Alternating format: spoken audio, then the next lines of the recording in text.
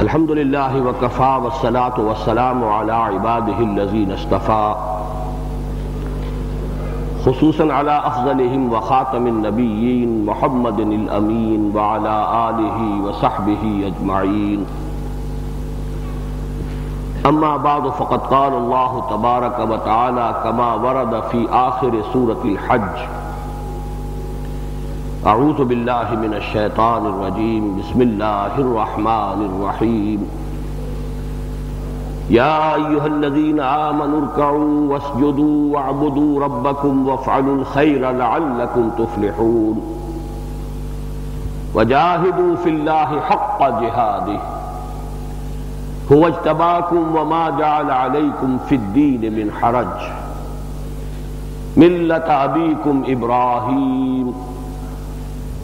सम्माकुमुल मुस्लिमीन मिन कब्ल वफी हाजा लियकून रसूल शहीदन अलैकुम व तकूनु शुहदा अलन्नास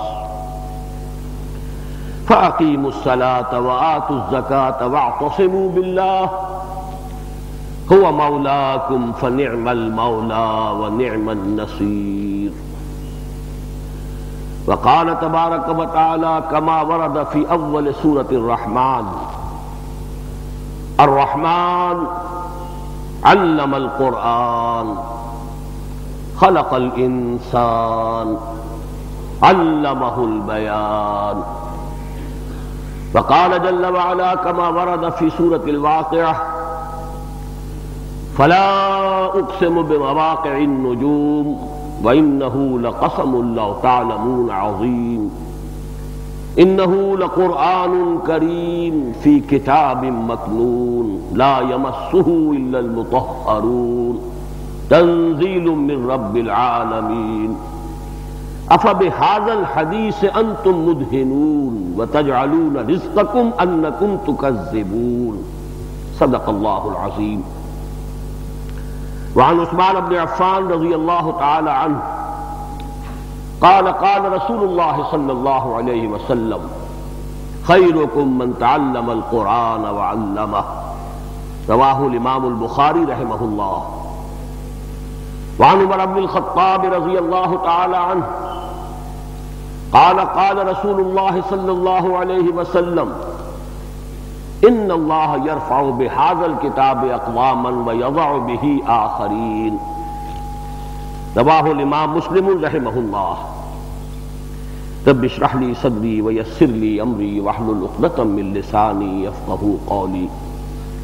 अल्लाहुम्म रब्बना अल्हिमना रुश्दना व अइज़ना मिन शुरूर अनफुसिना।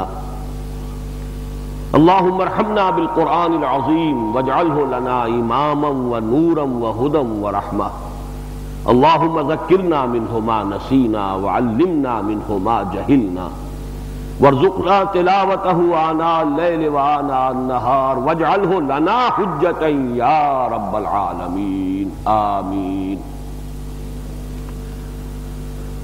हाज़रीन और मोहतरम ख़वातीन,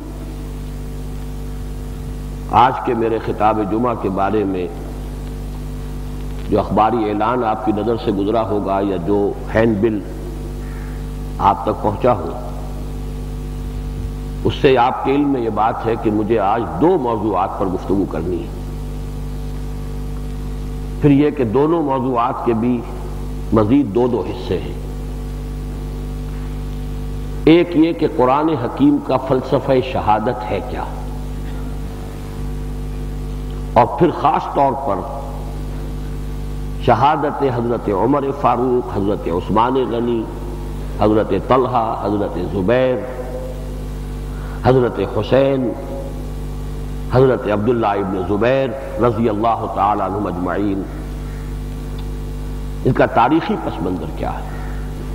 ये मजमून खुद अपनी जगह पर बड़ी तफसील का तालिब है।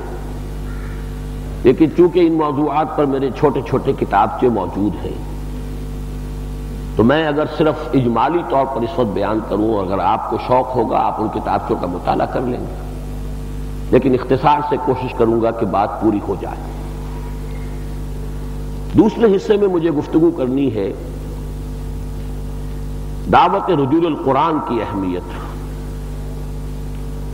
इन दोनों हिस्सों को जोड़ने वाली बात खुद हज़रत उस्मान की शख्सियत है रज़ी अल्लाह तन इसलिए कि उनकी शान में ये अल्फाज तो आप अक्सर खुतबात जुमा में सुनते होंगे। जाम आयातिल कुरान उस्मान अबन अफ़ान रज़ी अल्लाह तन हज़रत उस्मान की शख्सियत का खसूसी ताल्लुक कुरान से है। अगरचे इन अल्फाज को मैं समझता हूँ कि हज़रत उस्मान के असल मकाम और अजमत को ये अल्फाज वाजे नहीं करते, बल्कि एक तरीके से गहना देते हैं। वो मैं बाद में उसकी वजाहत अर्ज़ करूँगा। उनके असल मकाम को वाजे नहीं करते, बल्कि उसमें एक शुबे का इश्तबाह का फितने का दरवाज़ा खुलता है, बल्कि अफसोस ये है कि अल्फाज हमारे यहाँ अहल सुन्नत के खुतबों में आम बयान हो रहे फिर इसी हिस्से के ततिम्मे या जमीमे के तौर पर अर्ज़ करना है कि इस दावत रजूल कुरान में ये अंजुमन खुदामुल कुरान के पेश नज़र नक्शा क्या है? और ख़ास तौर पर जो एक साल कोर्स अब हम शुरू कर रहे हैं, मैं गोया कि उसके लिए आपको मुतवजह करने की कोशिश करूँगा। शायद के शायद के उतर जाए, तेरे दिल में मेरी बात। क्या जब आज अल्लाह ताला आप में से कुछ हजरात के दिलों में जज्बा पैदा कर दे कि ज़िंदगी का बहुत सा हिस्सा दूसरी चीज़ें पढ़ने, पढ़ाने में सर्फ कर चुके अब अल्लाह तौफीक दे कि ज़िंदगी का एक साल खालिश कर लिया जाए इस काम के लिए कि कुरान मजीद को समझा जाए, कुरान मजीद को पढ़ा जाए। तो चूँकि ये मेरी गुफ्तु के मौजूद की फहरिस्त तवील हो गई है तो मैं अब ज़रा इख्तसार से कोशिश करूँगा कि इन तमाम मजामी को मैं समोलूँ कुरान का फलसफा शहादत क्या है? इसमें भी फिर मैं लफ्ज इस्तेमाल कर रहा हूँ कि बदकिस्मती से उर्फ़ आम में शहादत के सिर्फ़ एक मानी लोगों के इल्म में है, अल्लाह की राह में कत्ल हो जाना। इस मानी में यह लफ्ज बाज अहादीस में तो आया है। पूरे कुरान में कहीं नहीं है। एक जगह इम्कान है कि यह मानी लिए जा सके। वरना अल्लाह की राह में कत्ल होना लफ्ज कत्ल लिया था वला तकूल मन युग तलोफी सबील अम्बात यहाँ लफ्ज शहादत तो नहीं आया। फिर सूर्य आल इमरान में वला तहसबन लदीन कोतलूफी समील अम्बाता वहाँ भी लफ्ज कोतल आया। वमा मोहम्मद रसूल, कद खलत बिन कबल ही रसूल अफ़ीम माता और कोतेला। कलत तुम यहाँ भी लफ्ज कत्ल आया साहबा कराम की शान बयान हुई, युकातलून फ़ी सबील्ला फयकतलून वयुकतलून अल्लाह की राह में जंग करते, कत्ल करते भी हैं, कत्ल होते भी, वही लफ्ज कत्ल लेकिन यह कि मैं ये नहीं कह रहा कि इसके वो मानी नहीं है, मानी वो। और जब हदीस में आया है तो वो मानी भी होंगे, वो मैं बयान कर दूँगा। लेकिन अफसोस इस बात का है कि ये मानी इस दर्जे छा गए हैं कि इसका असल मफहूम जहन से ओझल हो गया। कुरान का असल फलसफा शहादत जहनों से ओझल हो गया। शहादत के सिर्फ़ यही मानी जहन में रह गई। ये तो गोया कि तमहीद है। नफियन मैंने एक बात अर्ज़ की है। इस बात का अब समझिए, शहादत कहते किसे? शहीदा यशहदों के मानी अरबी जबान में है मौजूद होना, शाहिद और गायब गायब वो जो यहाँ नहीं है, शाहिद वो जो यहाँ मौजूद है। चुनाचे ये जुमला आपने इस्तेमाल किया था सल्लल्लाहु अलैहि वसल्लम अपने खुतब हजतुलविदा के आखिर में। अपना सारा पैगाम पहुँचा कर फरमाया, फल युबल शाहिदुल गायबा अब पहुंचाएँ वो जो यहाँ मौजूद है, जिन्होंने मुझसे ये सारी बातें सुन ली है, उनको जो यहाँ नहीं है। तो गायब और शाहिद। लेकिन जो मौजूद होता है, उसके हवाले से दो इजाफी मफहूम पैदा हो गए। जो किसी वकुए या हादसे के वक्त मौजूद था वही उसकी गवाही दे सकता। लिहाजा शाहिदा या शदों के मानी गवाही देना भी हो गया। नंबर दो जो कहीं मौजूद होगा, किसी तकलीफ़ में आपका कोई दोस्त, आपका कोई साथी मौजूद होगा तो मदद कर सकेगा। लिहाजा इसके मानी मदद करने के भी हो गए। इस मानी में सूरह बकरा के तीसरे रुकू में यह लफ्ज आया है, जहाँ चैलेंज दिया गया, वहीं रैबिन मिम्मा नजलना अला अब्दना फातू बसूरत मिसली वदू शुहदा कुम मिंदूनिल्लाह इन कुन तुम सादिकीन। अगर तुम्हें वाकता कोई शक है जो हमने अपने बंदे मोहम्मद सल्लल्लाहु अलैहि वसल्लम पर नाजिल फरमाया है कि यह अल्लाह का कलाम नहीं है, अगर तुम्हें यह शक है वाकता तो ऐसा कलाम तुम भी मौजूद कर लो। एक सूरत ही बना के ले आओ 114 में से एक छोटी सी छोटी सूरत का मिसल बनाकर ले आओ और बुला लो अपने सारे मददगारों को। अब यहाँ मददगार के मानी में शहदा आया। ये इसकी लुगवी बहस मुकम्मल हो गई। वैसे तफसील लिखे तो एक चैप्टर बन जाएगा इसका। लेकिन तीन बातें शहीदा या शदो, असलन मानी क्या है, मौजूद होना। लेकिन इसी से इजाफी तौर पर गवाही देना, इजाफी तौर पर मदद करना। दीन के फलसफे में यह लफ्ज असलन गवाही के मानी में इस्तेमाल होता है। चुनाचे शाहदरा जो है इस्लाम में दाखिल होने का बड़ा दरवाज़ा, वो क्या है? कलम शहादत। अशहद वहदला शरीक व अशहद मोहम्मद अब्दू व रसूल अब आप दाखिल हो गए इस्लाम में। कोई शख्स हिंदू था, ईसाई था, यहूदी था चूढ़ा था, चमार था, जो था, जैसे ही उसने कलमा कहा है, आपके बराबर कंधे से कंधा जोड़कर सफे अव्वल में खड़े होने का हक हासिल हो गया। गवाही। ये गवाही जो है एक बंदा मोमिन, एक बंदा मुस्लिम, अपनी जबान से भी देता है। जबान से उसने गवाही दी, मैं अल्लाह को मानता हूँ, एक मानता हूँ। अब इसका तकादा होगा, अमल से भी गवाही दे। जब अल्लाह को माना है, उसके हुक्म पर चले। अगर हुक्म पर नहीं चल रहा तो उसकी अमली गवाही, उसके कौली गवाही की तरदीद कर रही है झुटला रही है। तुम्हारा अमल तुम्हारे कौल को झुटला रहा है। तुम गवाही देते हो, मोहम्मद अल्लाह के रसूल है, उनकी पैरवी नहीं करते। पैरवी करते हो तो तुमने कौली गवाही के साथ अमली गवाही भी दे दी। लेकिन नहीं करते तो तुम्हारी कौली गवाही कुछ और है, अमली गवाही कुछ और है। ये तजाद है, ये तनाकुस है, ये मुनाफ्त है। गवाही देते हो कि कुरान अल्लाह का कलाम है, उसके हराम को हराम समझकर उसे इज्तनाब नहीं करते। तुम्हारी कौली गवाही की तकजीम हो गई तुम्हारी अमल से। इसलिए हजूर ने फरमाया, मा अमन बिल कुरान मनस्तहल्ला महार महू जिसने कुरान की हराम करदा किसी शय को अपने लिए हलाल कर लिया, उसका कुरान पर कोई ईमान नहीं। तो गवाही, कौली, गवाही अमली एक नॉर्मल इंसान, सेहतमंद इंसान, उसकी तो गवाही जो कौली है, गवाही अमली एक होनी चाहिए।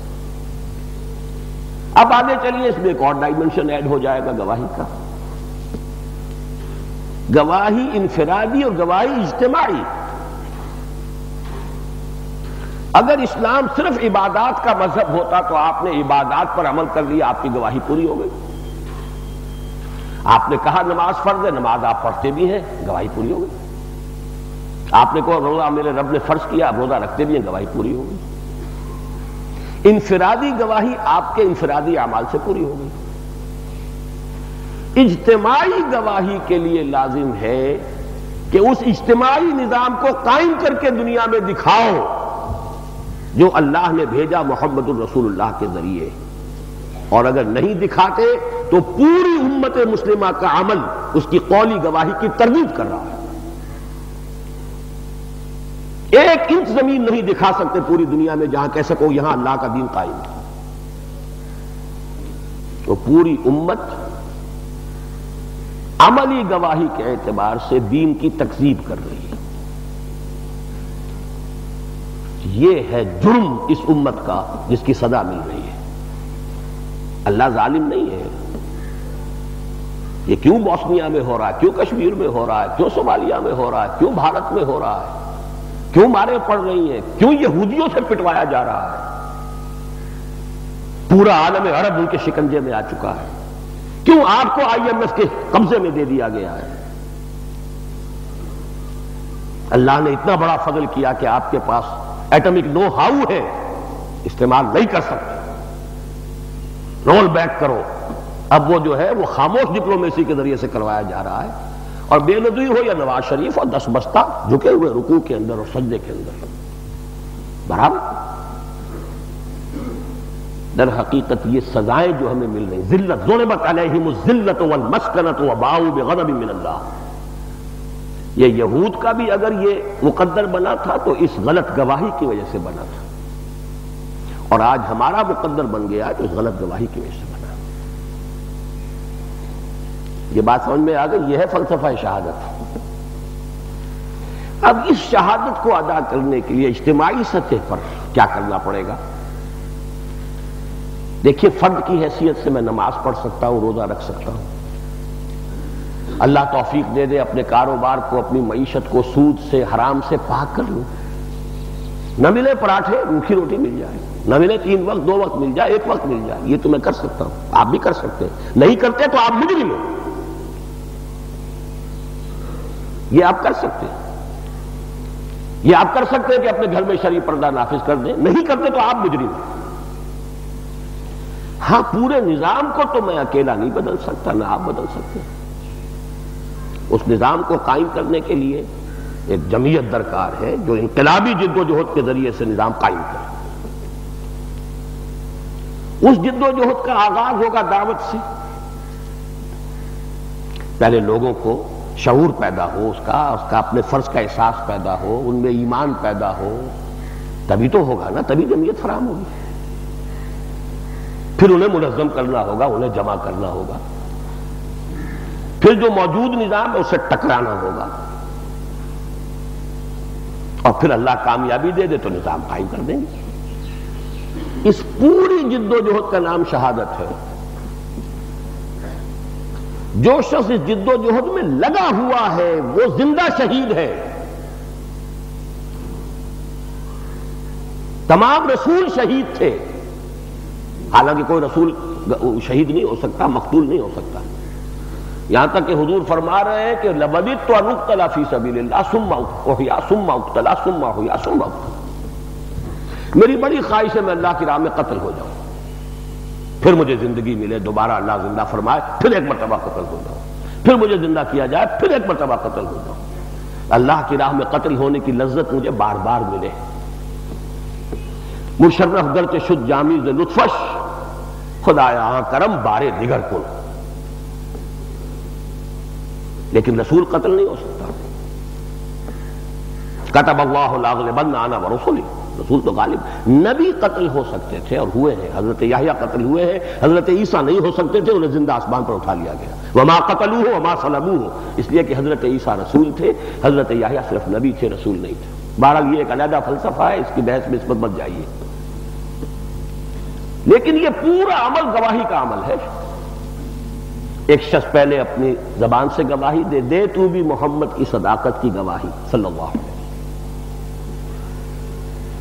फिर अपने अपने अमल से इनफरादी सतह पर गवाही दे कि बाकी अल्लाह का बंदा है और मोहम्मद वसल्लम की पैरवी करने वाला है, वाकई। इसने अमल से रवैये से, अपनी माशरत से, अपनी मीशत से, अपने रहन सहन से, अपनी ज़िंदगी के तौर तरीकों से साबित कर दिया कि अल्लाह को मानता है, कुरान को मानता है, मोहम्मद को मानता है सल्लल्लाहु अलैहि वसल्लम। फिर वो जमा हो, एक कुत बने, ताकत बने। एक अकेला, दो ग्यारह। जमात इतनी कभी हो जाए कि फिर वो बातिल निज़ाम से टकराए। यो कातिलून फ़ी सबी कताल करें अल्लाह की राह में, कत्ल हो भी, कत्ल करें भी। लोहे का जिसम नहीं था, हज़रत हमजा का भी। वैशी का बर्छा पार पार हो गया, शहीद हो गए। इस जिद्दोजहद में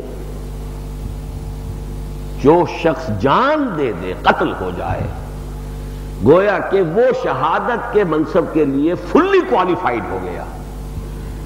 इसलिए कि जब तक वो मौत की अल्लाह की राह में इस तौर से नहीं आई, इम्कान है कल मेरा कदम न कहीं फिसल जाए। लेकिन एक शख्स ये गवाही अपने अमल से दे रहा है, अपने कौल से दे रहा है, इस जिद्दोजहद में लगा हुआ है तोानाइयाँ क़वतें इन नसलाती व नुसकी व महिया व ममाती, इसी काम के लिए उसने वक्त कर दी है। लेकिन ये क्या पता कल क्या हो जाए? कोई लफ्जिश हो जैसे कि सूरह आराफ में बलआम बिन बाऊरा का तस्करा है। अल्लजी आते ना हो आयात ना वनो शेना रफा ना हो बेहा। लेकिन एक औरत के अगवा में चक्कर में फंस कर गया, सब कुछ गया। अगली पिछली सब जो है, की कराई? अकारत। लेकिन जिस शख्स ने इस काम के लिए गर्दन उतार, उतरवा दी, अब उसकी गवाही पर मोहर तस्दीक सब्त हो गई। इस मानी में उसे शहीद कहा गया।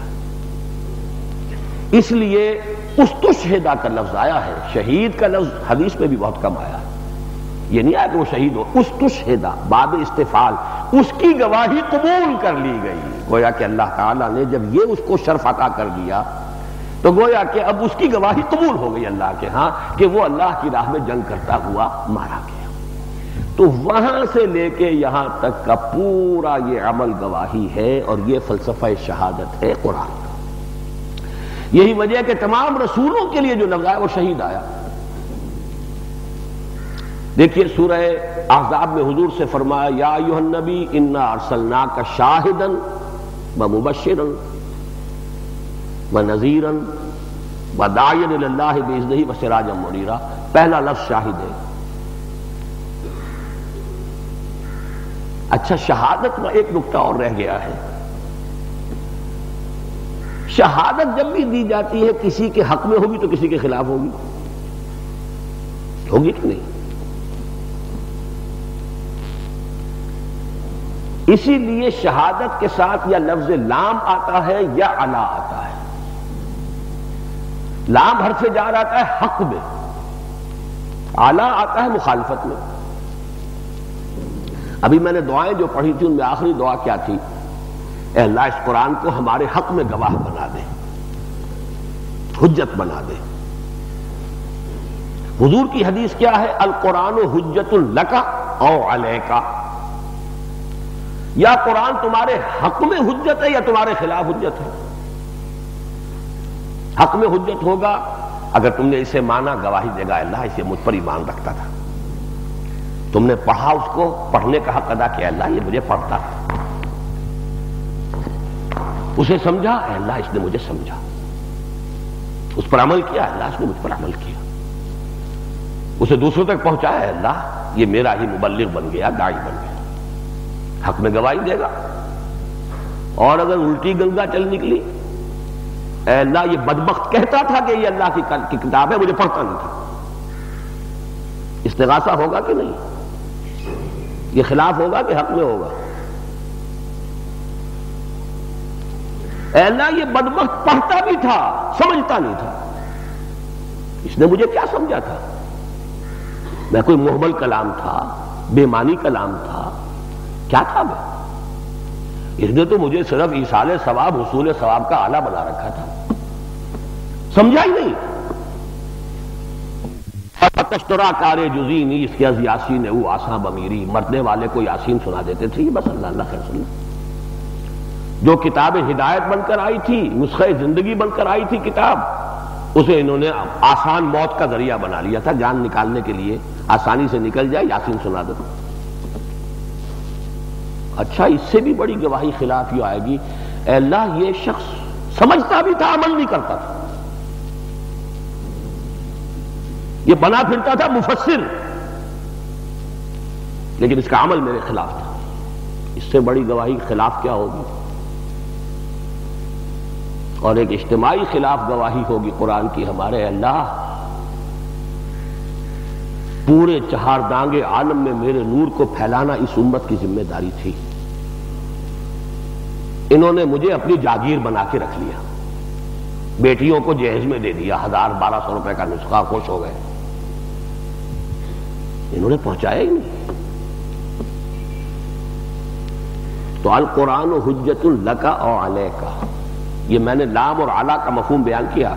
शहादत किसी के हक में होगी या खिलाफ?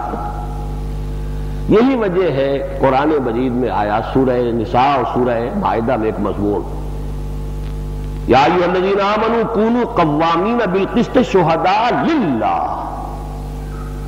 यहाँ शहादत के साथ नाम आ गया।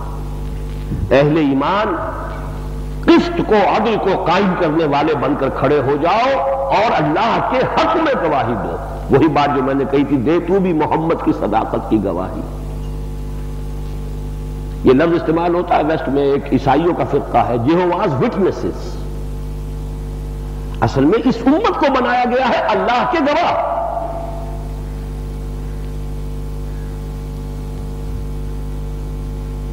अब वो नोट कीजिए। हुजूर को फरमाया, आपको हमने शाहिद बनाकर भेजा, गवाह बनाकर भेजा, हक में भेजा या खिलाफ भेजा, ये इस आयत में नहीं आया। सूर्य मुजम्मिल में आ गया। इन्ना अरसलना इलेकुम रसूलन शाहिदन अलैकुम कमा अरसलना इला फिर रसूला। फासा फिर रसूला फाखजना हो अखजम वबीला। कई फतक तकून तुम शीबा लोगों हमने अपना रसूल तुम्हारे तरफ़ तुम्हारे खिलाफ गवाह बनाकर भेज दिया है जैसे कि फिरौन की तरफ़ भेजा था यानी जो जो कौम रसूल की दावत कबूल न करे रसूल उसके खिलाफ गवाही देगा कयामत के दिन खड़ा होकर कि अल्लाह मैंने तेरी बात पहुँचा दी थी कौम ने नहीं मानी ये मुजरिम है ये गवाही हक में हुई के खिलाफ हुई तो जहाँ भी आया है ये लफ्ज इस दावत और तबलीग और इकामत दीन की जिद्दोजहद के लिए वो अला के साथ आया। इसीलिए मैंने आपको सूरह हज की जो दो आखिरी आयतें सुनाई। या यह नजीना आमन, अहले ईमान, इरकाऊ, रुकू किया करो, वसजदू, सजदा किया करो, ये तो हम करते हैं। वाबुदू रब्बा को अपने रब की बंदगी पूरी ज़िंदगी में करो। वफानुल खैर नेक काम करो, अच्छे काम करो। लाल तुम तुफलहून, ताकि तुम फला पाओ। वह जाहिदू फिल्ला हक का जिहाद ही अल्लाह के लिए जिहाद करो, जितना कि उसके लिए जिहाद का हक है। किस लिए जिहाद करो? ले यकून रसूल शहीदन अलैकुम व तकून शुहदा अनन्नास ताकि रसूल गवाह बने तुम्हारे खिलाफ। कि अल्लाह मैंने पहुँचा दिया। ये जिम्मेदार है अब। कोई शख्स ये नहीं कह सकता नोबडी कैन प्लीट इग्नोरेंस और है मुसलमानों, ताकि तुम गवाही दो, यही पूरी नौ इंसानी के सामने खड़े होकर अल्लाह, हमने पहुँचा दिया और अगर नहीं पहुंचाता, रसूल नहीं पहुंचाता तो दूसरों से पहले खुद मुजरिम। रसूल पहुँचा दे, रसूल बरी। मैं तो सादा सी मिसाल दिया करता हूँ। आप अपने किसी अज़ीज़ को पैगाम भेजते हैं किसी के ज़रिए। कल शाम तक यह काम ज़रूर कर देना भाई, वरना मेरा बड़ा नुकसान हो जाएगा। आप मुतमिन है, मैंने पैगाम भेज दिया है, बहुत ही मोतमद पैगाम्बर है। जिसे पैगाम भेजा है, वो भी मेरा बड़ा जिगरी दोस्त है। काम नहीं हुआ, नुकसान हो गया। अब आप गुस्से में भरे हुए गए अपने दोस्त के पास, अज़ीज़ के पास, अल्लाह के बंदे, मैंने तुम्हें पैगाम दिया था, तुमने नहीं काम किया। मेरा नुकसान हो गया, कौन जिम्मेदार है? अगर वो कह दे कि भाई, अब मुझे तो आपका पैगाम पहुँचाया ही नहीं। तो अब उससे कुछ और कह सकते हैं आप? सारा गुस्सा आप किस पर आएगा? उस पैगाम बर पर। तुम्हारे जिम्मे था बात पहुंचाना, तुमने नहीं पहुंचाई। मेरे सारे नुकसान के जिम्मेदार तुम हो। इस पैगाम्बर में से एक अलिफ निकाल दिए पैगंबर बन गया। वही पैगाम्बर है ना, अल्लाह का पैगाम लेकर आते रहे। नौ इंसानी के पास वो पहुँचा दे तो बरी हो गए, अब ज़िम्मेदारी उनकी जिन्हें पहुँचा दिया गया। वो ना पहुँचाए खुदा ने खास्ता तो उनको तो शायद कोई उज्र मिल गया। पकड़ा कौन जाएगा? रसूल। हुआ नहीं ऐसा, नामुमकिन है। अल्लाह के रसूलों ने पहुँचाया। चुनाचे हुजूर ने अपने आखिरी खुतबे में लोगों से गवाही ले ली। अला हल बल्लग तो लोगों, मैंने पहुँचा दिया कि नहीं? तेईस बरस की मेहनत शाखा को पसमंजर में रखिए। उसी में शेब बनी हाशिम भी है, उसी में यौम ताइफ भी है, उसी में हिजरत भी है, उसी में गार सौर भी है, उसी में ओहद भी है, उसी में बदर भी है, उसी में अहजाब। तेईस बरस की मेहनत है शाखा अब जो सवा लाख का या एक लाख चालीस हज़ार का मजमा सामने है, खुतबा दिया है, आखिरी सवाल किया अला तो पूरी कांग्रीगेशन ने बैक जबान कहा, इन्ना नशहदो अन्ना का कदबल लगता व अद्दैता व नसाता हाँ हम गवाह है। आपने हक तबलीग अदा कर दिया, हक अमानत अदा कर दिया, हक खैरखाही अदा कर दिया। अब आपने आसमान की तरफ़ निगाह उठाई, तीन मरतबा सवाल, तीन मरतबा जवाब, तीन ही मरतबा ये। आसमान पर उंगली उठाकर फिर लोग अल्लाह मशद अल्लाह तू भी गवाह रहे। अल्लाह मशद अल्लाह तू भी गवाह रहे अल्लाह मशद अल्लाह तू भी गवाह रहे मैं फारिग हो गया। साई ऑफ़ रिलीफ मेरे कंधे का बोझ उतर गया। इन्ना सनुल की अलह का कौन सकीला। आज मेरी ज़िम्मेदारी खत्म हुई। लेकिन ये ज़िम्मेदारी है मुसलमानों, अब तुम्हारे कंधे पर आ गई। इसलिए फरमाया, आखिरी जुमला, फल युबल शाहिदुल गायबा। अब पहुंचाओ तुम उनको जो यहाँ नहीं है। इसमें वो भी आ गया जो उस वक्त दुनिया में मौजूद थे और वहाँ नहीं थे। और वो भी आ गए जो ताकयाम क्यामत दुनिया में आएँगे। इनके ऊपर गवाही देने की ज़िम्मेदारी उम्मत मुस्लिमा की इज्तमाही ज़िम्मेदारी है। जिहाद करो अल्लाह की राह में जितना कि उसके लिए जिहाद का हक है। ताकि रसूल तुम पर गवाही दे, तुम पूरी नौ इंसानी पर गवाही दो। और अगर पूरी नौ इंसानी कहे, अल्लाह, इन्होंने पहुँचाया ही नहीं। बल्कि अपने अमल से हमें मुतनफिर किया दीन से। तो फिर क्या होगा? तो फिर क्या होगा? इसी पर वो आयत है सूरह निसा की। आयत नंबर इकतालीस, जिसके बारे में वाकया भी है कि हुजूर ने हज़रत अब्दुल्ला इबन मसूद से फरमाइश की कि मुझे कुरान सुनाओ। उन्होंने अर्थ किया, हुजूर, आपको सुनाऊं, आप पर तो नाजिल हुआ है। फरमाया, नहीं, मुझे दूसरों से सुनकर कुछ और हज और लुत्फ हासिल होता है। अब उन्होंने सूर्य निशा पढ़नी शुरू कर दी, गर्दन झुकाए पढ़ रहे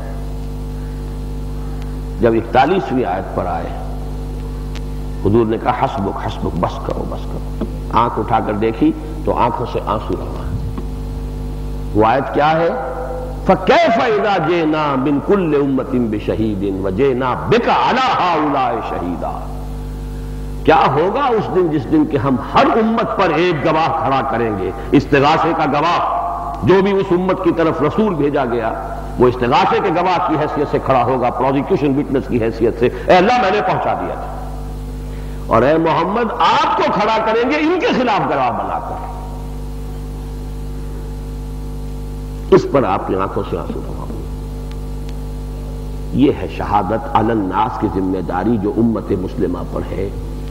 और चूँकि जब से खिलाफत रास्ता खत्म हुई हमने उसकी गवाही दोबारा दुनिया में नहीं दी। मामूली सी बात है, दो साल हज़रत उमर बिन अब्दुल अज़ीज़ के, वो निज़ाम नहीं आया। उस वक्त से अब तक हम मुसलसल मुजरिम है, इसीलिए पिटाई हो रही। कभी सलीबियों के हाथों पिटवा दिया, कभी तातारियों के हाथों तो यूँ समझिए कि कीमा बनवा दिया। कभी स्पेन से 800 बरस की हुकूमत जहाँ की थी, वहाँ से नामो निशान मिटा दिया। कालम यगनौफिया ऐसे हो गए जैसे यहाँ कभी थे ही नहीं। और बड़ी से बड़ी पिटाई अभी आ रही है। ऐसी पिटाई जो अभी तक नहीं आई है। किताबुल मलाहिम और अल मलहमतुलज़मा इस पर मैं नहीं जाता, मेरी किताब अब आ चुकी है। मौजूदा और सबका मुसलमान उम्मतों का माजी हाल और मुस्तबिल मैंने उसमें इसी पर तफसील से गुफ्तु की है। यहाँ भी मुख्तलिफ़ मौके करता रहा लेकिन यहाँ मेरी गुफ्तु खत्म हुई, शहादत का कुरान का फलसफा ये दीन की गवाही जबान से, अमल से, इनफरादी सतह पर, कौमी सतह पर, इज्तमाही सतह पर। उम्मत का इज्तमाही सतह पर उस निज़ाम का एक नमूना दुनिया के सामने पेश कर देना यह गोया की गवाही होगी, अगर नहीं करती तो पूरी उम्मत गुनाहगार है, मुजरिम है, गलत गवाही दे रही है, हक की गवाही नहीं दे रही, उसकी सदा पा रही है और जो सजा आखिरत में मिलेगी, उससे कहीं ज़्यादा सख्त होगी। पूरी दुनिया की गुमराही का बबाल हमारे ऊपर आएगा। तुम्हारे पास हमारा कलाम था। तुम बने फिरते थे हमारे नबी के ठेकेदार। तुमने लहक लहकर गाया था सारे नबियों से अफजल, हमारा नबी। उस नबी के मिशन को तुमने बुला दिया। उसकी ज़िम्मेदारी तुम्हें याद न रही। प्राइड लिया इसमें। हम मोहम्मद की उम्मती हैं सल्लल्लाहु अलैहि वसल्लम। लेकिन जो ज़िम्मेदारी थी वो नहीं। अब मैं दूसरे मरहले पर आ रहा हूँ। इस शहादत के जो मराहल हुजूर की सीरत में और खिलाफत राशदा में आए हैं, उनको तीन हिस्सों में तकसीम कर लीजिए। पहला मरहला उस निज़ाम को कायम करने की जिद्दोजहद के दौरान शहादतें हो रही हैं। जबानी भी, कौली भी, अमली भी, इनफरादी, यहाँ तक कि वो निज़ाम कायम कर दिया गया। जजीरा नुमाए अरब में तेईस बरस की मेहनत और मुशक्कत से निज़ाम कायम हो गया। इसमें जिसने मेहनत की वो गवाह है। चाहे बिस्तर पर फौत हुआ, गवाह है। अगर ये काम करते हुए गया है। लेकिन जिन्होंने वाक्य जंग में अपनी गर्दन उतरवा दी, वो गोया कि गवाही के सद फ़ी सद मिसदाक बन गए। उनमें वो भी थे कि जो मक्के ही में शहीद कर दिए गए। मसलन हज़रत अम्मार, हज़रत यासिर, अम्मार के वालिद और उनकी वालदा हज़रत सुमैया। फिर वो भी थे जो बदर में शहीद हो गए, वो थे जो उहद में हो गए, और मवाके पर हो गए बेरे मऊना पर हो गए। सैकड़ों सहाबा ने अपने जाने दे दी। ये गोया के शहादत का वो मरतबा है, दीन को कायम करने की जिद्दोजहद में शहादत। अच्छा एक बार सूरह शूरा की एक आयत के हवाले से बारहा मैंने अर्ज़ की है कि मुसलमानों से कहा गया, नकीमुद्दीन, तुम पर लाजिम है, दीन कायम करो। इसका तर्जुमा कुछ लोग कर देते हैं, दीन कायम रखो। दोनों तर्जुमे सद फ़ीसद दुरुस्त है। कायम है तो कायम रखो। कायम नहीं है तो कायम करो। बात तो एक ही खेमा गिरा हुआ है तो खड़ा करो। कायम करो। और खड़ा है तो आंधियाँ चल रही है। भाई खूंटों को मज़बूत करो, रस्सियों को मज़बूत करो। और यहाँ तक के बाँस पकड़कर खड़े हो जाओ। कायम रखो। ये आंधियाँ उसे गिरा न दें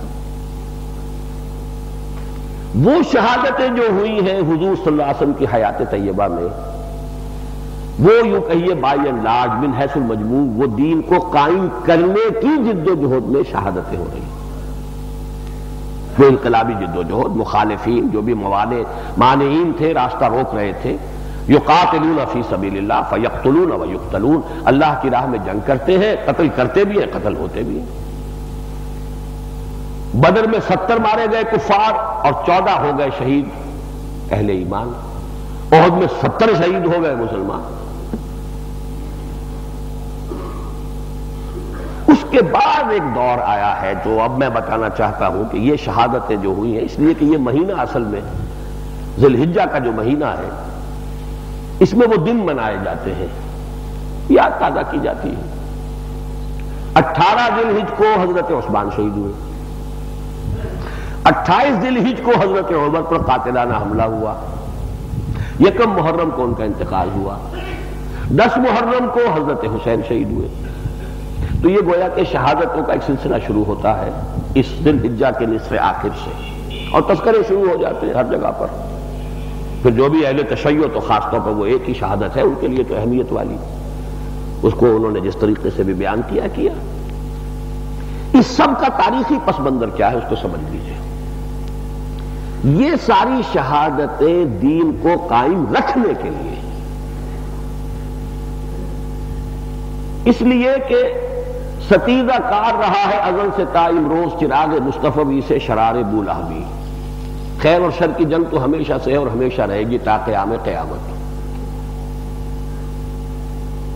चिराग मुस्तफी शरार बुलाबी जंग तो रहेगी।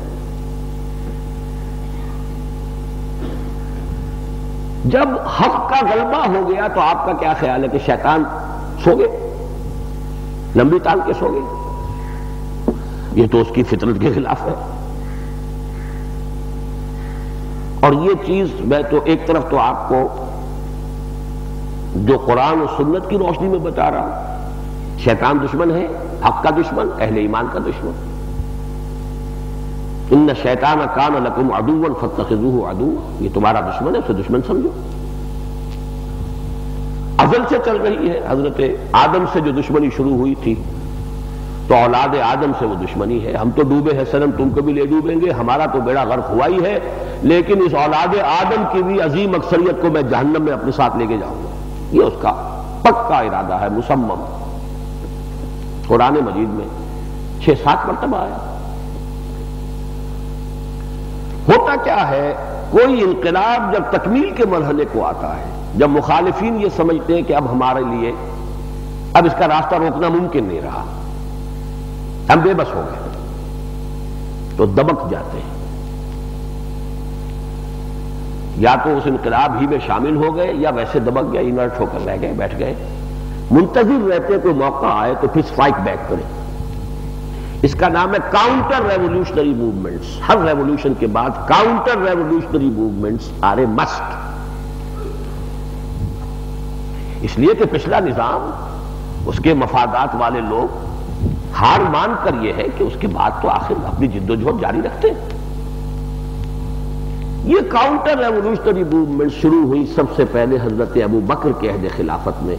उस वक्त तक इनकलाब अरब में आया था, आगे तो आया नहीं था। अभी याद अरब ही में वो काउंटर रेवोल्यूशनरी मूवमेंट्स मुद्दयान नबूवत खड़े हो गए माने जक़ात खड़े हो गए। और आपको मालूम है, लाखों की तादाद में लोग उनके साथ हो गए। एक दफ़ा यह काउंटर रेवोल्यूशनरी मूवमेंट्स का रेला इतना सख्त था कि मक्के और मदीने तक ही दारुल इस्लाम महदूद हो गया था। पूरा अरब तकरीबन मुर्तदीन के या तो मुर्तद हो गया या मुर्तदीन के कब्जे में था। इतनी बड़ी बड़ी जंगें हुई हैं। मुसलमा कज्जाब के साथ जंग यमामा में इतनी तादाद में मुसलमान सहाबा जो है शहीद हुए हैं। और इतने हुफाज थे कि तब खतरा हुआ कि कुरान मजीद को किताबी शक्ल में भी जमा कर लिया जाए। सिर्फ़ ये हुफाज के सीनों में जो महफूज है, इसी पर तकिया ना किया जाए। ये इतनी तादाद में शहीद होंगे, कहीं कुरान जाए ना हो जाए, गायब ना हो जाए। हज़रत अबू बकर के जमाने में इस कुरान को जमा किया गया। ये हज़रत उमर का, हज़रत अबू बकर का कारनामा हज़रत उस्मान का नहीं है। गलती से उनके नाम के ऊपर थोप दिया गया, वो सिर्फ़ काफिए के लिए। उस्मान, अफान तो जामे आयातिल कुरान। गलत भी है और गुमराह कुल है। गुमराह कुल क्यों है? कि दुश्मनों को मौका मिलता है कि इसका मतलब है कि पंद्रह बरस बाद कुरान जमा किया गया। क्या हज़रत उस्मान से पहले कुरान जमा नहीं हुआ था? जामे आयात कुरान अगर हज़रत उस्मान को कहते हैं, इसके मानी क्या हुआ कि हज़रत उस्मान से पहले कुरान जमा नहीं हुआ? कुरान पर शक आ गया कि नहीं आ गया? ये न मालूम। किनके मुरतब किए हुए अल्फाज हैं और पढ़ रहे हैं? नहीं सोचते कि कितना बड़ा खतरा इसके अंदर अव्वल तो जमा कुरान हो गया था, खुद हुजूर की हयात तैयबा में। तरतीब हो गई, जमा हो गया। हुफाज को याद था तो तरतीब से याद था बगैर तरतीब के तो याद नहीं था। लेकिन सीनों में जमा हो गया था, वो हुजूर ने खुद कर दिया। किताबी शक्ल में हज़रत अबू बकर के जमाने में, और हज़रत अबू बकर का कुल अहद खिलाफत, सवा दो बरस तो गोया के हुजूर के इंतकाल के बाद, लगभग साल, डेढ़ साल बाद ही किताबी शक्ल में भी कुरान मुरतब हो गया। अब अगर इसे हज़रत उस्मान की तरफ़ मंसूब करते हैं तो एक तो खिलाफ वाक़ है बात, और बहुत गुमराह कुल है कि लोगों को इतराज का मौका मिलता है कि साहब, ये तो इसका मतलब यह कि कम से कम बारह तेरह बरस के बाद कुरान मजीद को की आयात जमा की गई। इन्ना असल क्या खिदमत है हज़रत उस्मान की? मैं बाद में अर्ज़ करूँगा। या वजाहत कर ही दूँ यहीं पर। हुआ यह कि कुरान तो जमा हो गया, लेकिन उसको पढ़ने के लिए लहजों की इजाज़त थी। जैसे उर्दू जबान एक जबान है, लेकिन लखनवी लहजा और है दिल्ली लहजा और है, हैदराबादी और है। पंजाबी और तरीके से बोलते हैं, लिखेंगे चाकू, पढ़ेंगे काचू। तो अब ये जो पढ़ने का मुख्तलिफ़ फ़र्क हो रहा था, उसकी वजह से लोग मुख्तलिफ़ लहजों में, मुख्तलिफ़ जबानों में पढ़ रहे थे। और पढ़ते पढ़ते लिखने में भी फ़र्क आने लगा। फ़र्ज़ कीजिए किसी ने चाकू को काचू ही लिख दिया। जब बोलते काचू है तो लिखे क्यों ना काचू ये जो इख्तलाफ मतन में हो रहा था, इसको दूर किया हज़रत उस्मान रज़ी अल्लाह तु ने और कातबी ने वही को जमा करके एक मतन तैयार किया, एक टेक्स्ट। तो गोया कि हज़रत उस्मान पूरी उम्मत को जमा करने वाले हैं, एक मतन पर, इसीलिए रस्म रस्म उस्मानी कहते हैं इसको। ये रस्मुल खत जो कुरान का है, रस्म उस्मानी मुसहफ उस्मान रज़ी अल्लाह तु कि उसकी किताबत हमेशा के लिए का क्याम क्यामत, अब हज़रत उस्मान ने जो उसका रस्मुल खत बना दिया था, उसके ऊपर चलेगी। इस पर एक टेक्स्ट पर जमा किया है, किताबत की सूरत में हज़रत उस्मान ने पूरी उम्मत को, बाकी सारे नुस्खे तल्फ कर दिए गए और ये जो आपने तैयार किया, करवाया, ऑफिशियल नुस्खा उसके जो है कॉपीज करके भेज दी गई। कोई ताशकंद में आज भी रखा हुआ है कोई इस्तंबोल में रखा हुआ है और एक नुस्खा आपके अपने पास था जिसकी आप तिलावत कर रहे थे जब आपको शहीद किया गया है। और उस नुस्खे के ऊपर ये जो आ, पहले पारे का आखिरी रुकू है फसा यकफी कहमुल्लाह उन अल्फाज पर हज़रत उस्मान के खून का धब्बा आज भी मौजूद है। तो हज़रत उस्मान का यह कारनामा जाम उम्मत अनल कुरान। कुरान पर पूरी उम्मत को रस्म पर, रस्मुल खत पर, एक टेक्स्ट पर, उस पर जमा करने वाले हज़रत उस्मान हैं। वरना कुरान मजीद की आयात अव्वलन जमा हो गई खुद हजूर की हयात तैयबा में, तरतीब तय हो गई, सूरतें मुन हो गई। किस सूरत के बाद कौन सी सूरत है, किस आयत के बाद कौन सी सब तय हो गया? अलबत्ता किताबी शक्ल में जमा करने का काम हज़रत अबू बकर के अहद खिलाफत में हुआ। तो जाम आयातुल कुरान अगर कहा जाए तो किसी दर्जे में हज़रत अबू बकर को कहा जा सकता है। लेकिन वो भी गलत होगा इसलिए कि आयात कुरानी को जमा हजूर ने कर दिया है। मुसहफ की शक्ल में, किताब की शक्ल में मुरतब करके जमा करने वाले हज़रत अबू बकर और एक रस्मुल खत को ऑफिशियली तैयार करवाकर और उसी पर उम्मत को जमा कर देने वाले वो हज़रत उस्मान। बहरहाल अभी मैं अर्ज़ कर रहा था कि काउंटर रेवोल्यूशनरी मूवमेंट शुरू हुई। हज़रत अबू बकर रज़ी अल्लाह तु ने उसके खिलाफ एक आयरन विल के साथ मुकाबला किया है।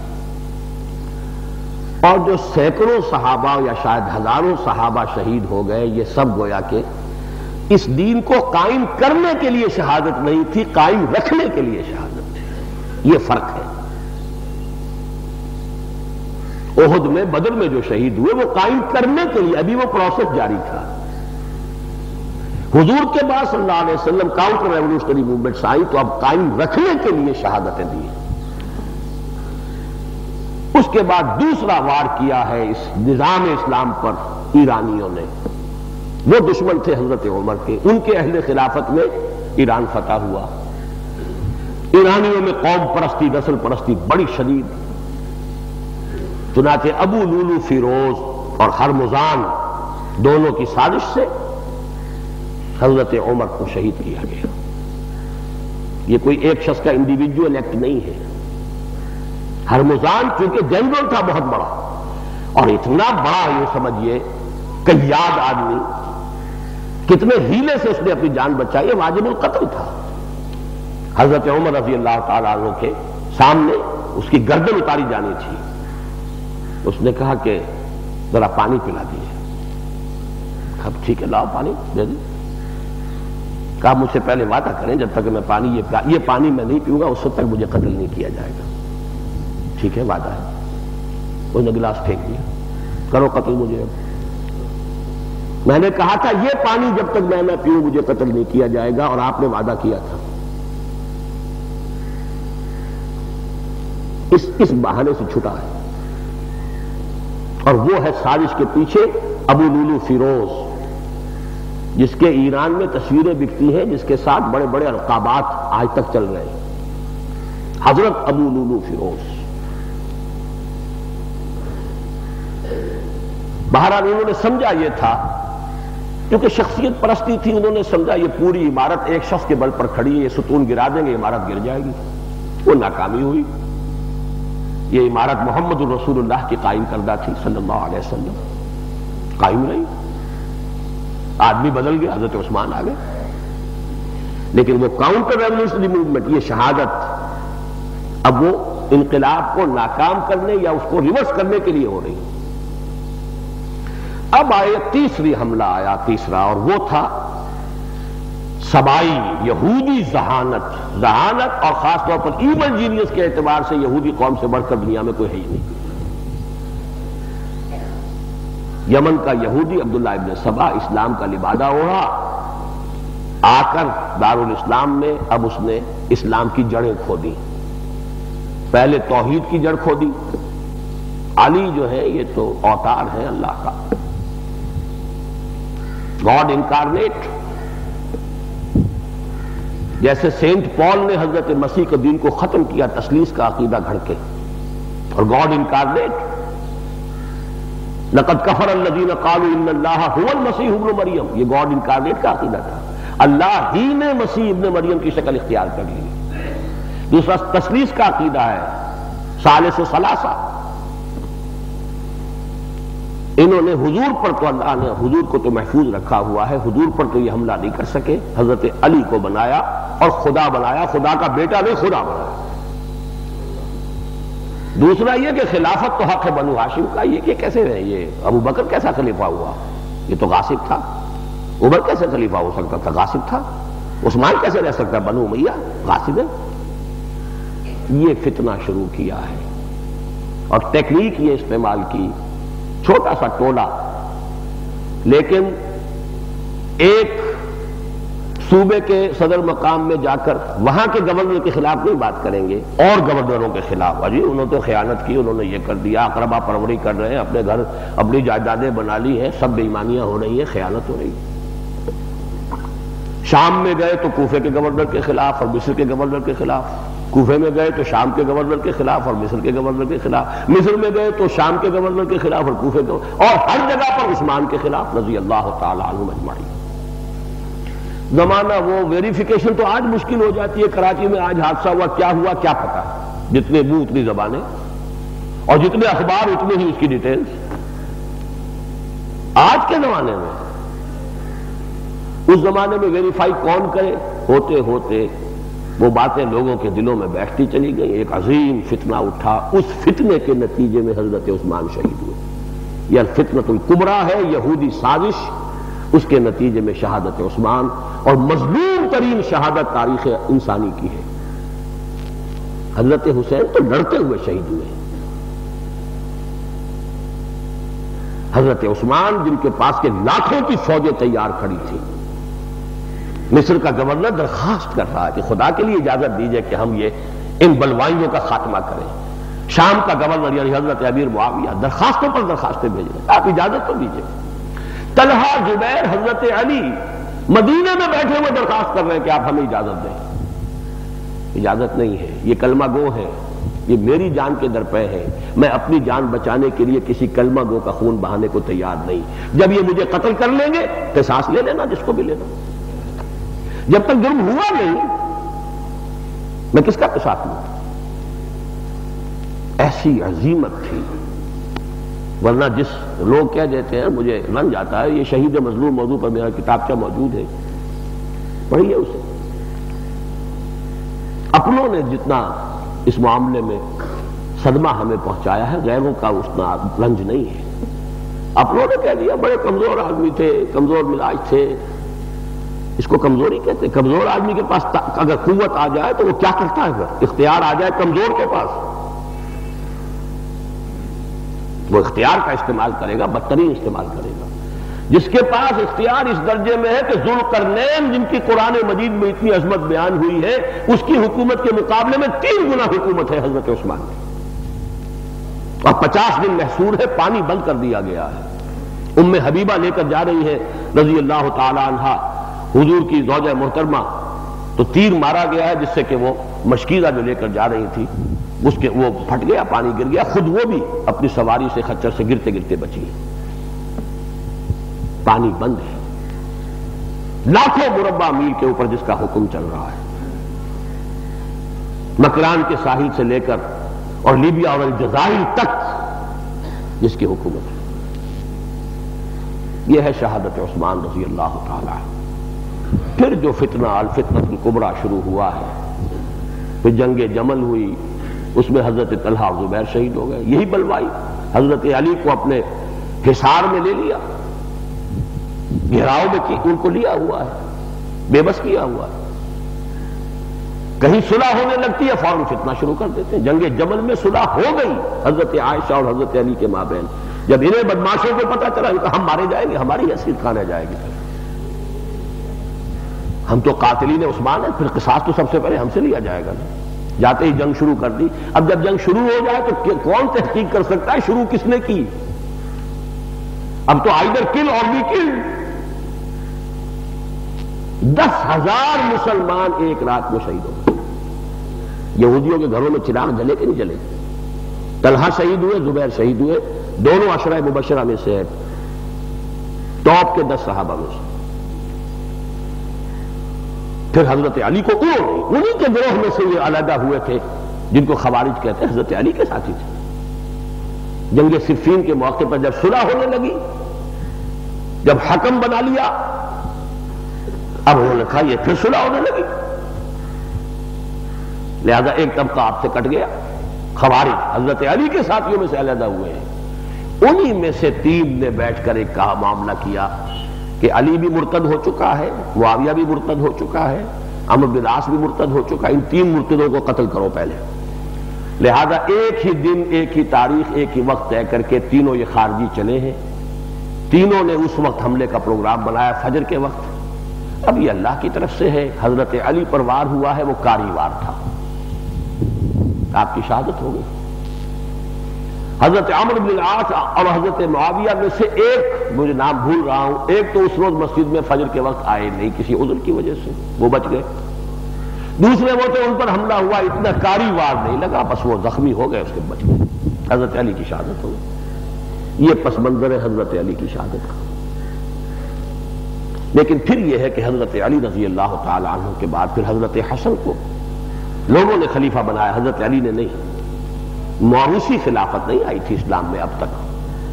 हज़रत उमर से कहा गया था कि आप अब्दुल्ला अपने बेटे अब्दुल्ला इबन उमर को नामजद कर दें। आपने साफ़ इनकार कर दिया। हज़रत हसन के बारे में जब लोगों ने हज़रत अली से पूछा, आपने फरमाया, ना मैं तुम्हें हुक्म देता हूँ, ना मैं तुम्हें रोकता हूँ। इट्स टू यू मुसलमानों का मामला अबरुल मुस्लिमीन है, तुम जो ताव तय करो। हज़रत हसन की खिलाफत मौरूसी बुनियाद पर नहीं हुई। बल्कि वो लोगों ने फिर चुन ली। हज़रत हसन ने छह महीने के बाद ही हज़रत अमीर मुआविया के हक में दस्तबरदारी इख्तियार कर ली। वहाँ से हज़रत अमीर मुआविया की हुकूमत शुरू हुई। उसको आमुल जमा कहते हैं कि साढ़े चार बरस तक बल्कि पाँच बरस तक जो खाना जंगी मुसलमानों में रही, वो खत्म हो गई। हज़रत मुआविया के अहद खिलाफत के, पहले तो एक बात मैं भूल गया दरमियान में बताना हज़रत उस्मान का अहद खिलाफत बारह बरस है, जिसमें से दस बरस बिल्कुल हज़रत उमर की शान के हैं। कोई फ़र्क नहीं। ये भी जेलों में बिठा दिया गया कि हज़रत उस्मान का दौरे खिलाफत बस फितने ही की आमाजगा बना रहा। नहीं नहीं, दस बरस। वही इतिहाद वही यगानगत, वही सैलाब थमता न था किसी से, सैले रवा हमारा। बिल्कुल उसी शान से बात आगे बढ़ रही थी।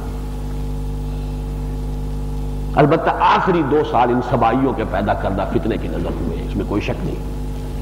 लेकिन हज़रत अली के तो साढ़े चार साल के साढ़े चार पूरे ही फितने में रहे उसका इल्ज़ाम हज़रत अली पर नहीं है। वो सारा इल्ज़ाम बलवाइयों पर है, सबाइयों पर है, बदमाशों पर है। बदकिस्मती से हमारे बाद मौरखीन ने, जिनमें मौलाना मौजूदी से भी ये बहुत बड़ी गलती हुई है, बहुत बड़ी गलती हुई है। खिलाफत और मलूकियत नामी किताब में अस्सी फ़ीसद इल्ज़ाम डाल दिया हज़रत उस्मान पर, बीस फ़ीसद हज़रत अली पर। वो सबाई कहीं है ही नहीं, तस्करा ही नहीं जो असल मुजरिम तारीख का बड़ा नाकिस मुताला ये तो सही है। खिलाफत मलूकियत में तब्दील हुई है। इसमें कौन इख्तलाफ करेगा? इल्ज़ाम किस पर है? उस्मान पर। महाजल्ला सुम्मा महाजल्ला अली पर। महाजल्ला सुम्मा महाजल्ला ये तो हमारे चोटी के साहबा है। असल में फितना ऐसा था, आग ऐसी भड़का दी गई। और वो जमाना ऐसा था, वो वसाइल ही नहीं थे कम्युनिकेशन नहीं है। फितना भड़काना बहुत आसान होता है, जहाँ वसाइल ही नहीं कम्युनिकेशन ही नहीं। वेरिफिकेशन के इम्कान आती नहीं, ये सही कह रहा है कि गलत कह रहा बहरहाल, अब जो हज़रत मुआविया रज़ी अल्लाह तु के 20 साल है, वो पूरे अमन सुकून, चैन, कोई इख्तलाफ अलबत् हज़रत मुआविया रज़ी अल्लाह तु ने जब यजीद को अपने बेटे को नामजद किया है, अब इख्तलाफ हुआ कि यह मौरूसियत आ रही है। उनकी भी नीयत पर हमें शुबा नहीं हो सकता, इसलिए कि साहबी है। उन्होंने उम्मत की मसलहत इसी में समझी कि जब तक एक कबीले की असमियत पीछे नहीं होगी कुत पुष्पना नहीं होगी, हुकूमत अब नहीं चल सकती। के बारे सहाबा जा चुके, जो हुजूर के तरबियत दादा लोग थे, वो गए। अब ये सब के सब जो है वो नए जो इस्लाम लाने वाले हैं। अब ये वो लोग हैं। इस्लाम का वो शुराई निज़ाम अब चल नहीं सकता जब तक कि किसी ताकतवर कबीले की जो है ना कुत जिसे इब्न खलदून कहता है, असमिया। एक असमियत जब तक पीछे नहीं होगी निज़ाम कायम नहीं रहेगा। ये उनकी राय थी। आप इख्तलाफ करें। साहबी की राय से इख्तलाफ हो सकता है, उसकी नीयत पर हमला नहीं हो सकता। इस पर जो है चार अफराद जो है वो खड़े हो गए। उन्होंने यजीद की, वली अहदी की बैत नहीं की। और हज़रत मुआविया ने भी तशद नहीं किया, जबर नहीं किया। चारों कौन थे? जो होने चाहिए थे वही थे। अबू बकर के बेटे अब्दुल रहमान इबन अबी बकर।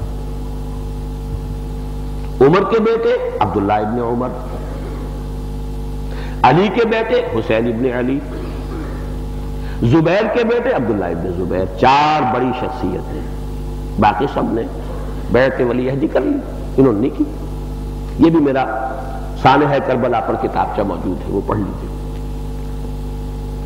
लेकिन जब तक दस बरस तक ये बैठ वली अहदी रही है, हज़रत मुआविया ने जबर नहीं किया कि ज़रूर करो बैठ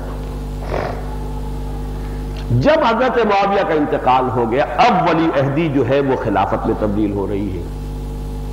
और गोया के मौरूसियत का आगाज़ हो रहा है इस्लाम में। खिलाफत एक सीढ़ी नीचे आ रही है, जवाल पर आ रही है।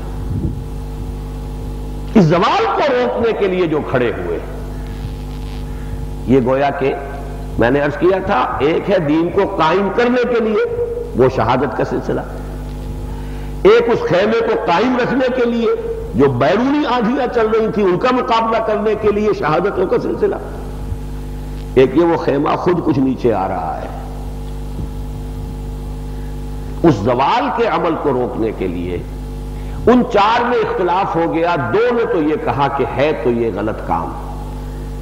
लेकिन इतना गलत काम नहीं है कि इससे खून खराबा करें, उम्मत के अंदर फसाद, बगावत करें, जंग हो ऐसा नहीं। यह है अब्दुल्ला इबन अब्बास। अब्बास के बेटे अब्दुल्ला भी उनमें शामिल वो भी गिन याद कर लो असल में पाँच थे जबकि वली अहदी की बैत हुई थी, लेकिन अब्दुल रहमान इबन अबी बकर का इंतकाल हो गया इन दस सालों के दौरान, वली अहदी का जो दौर है। तो जब खिलाफत का वक्त आया है यजीद के तो चार रह गए। उनमें से दो की राय होगी कि काम तो गलत है ये जो हुआ है।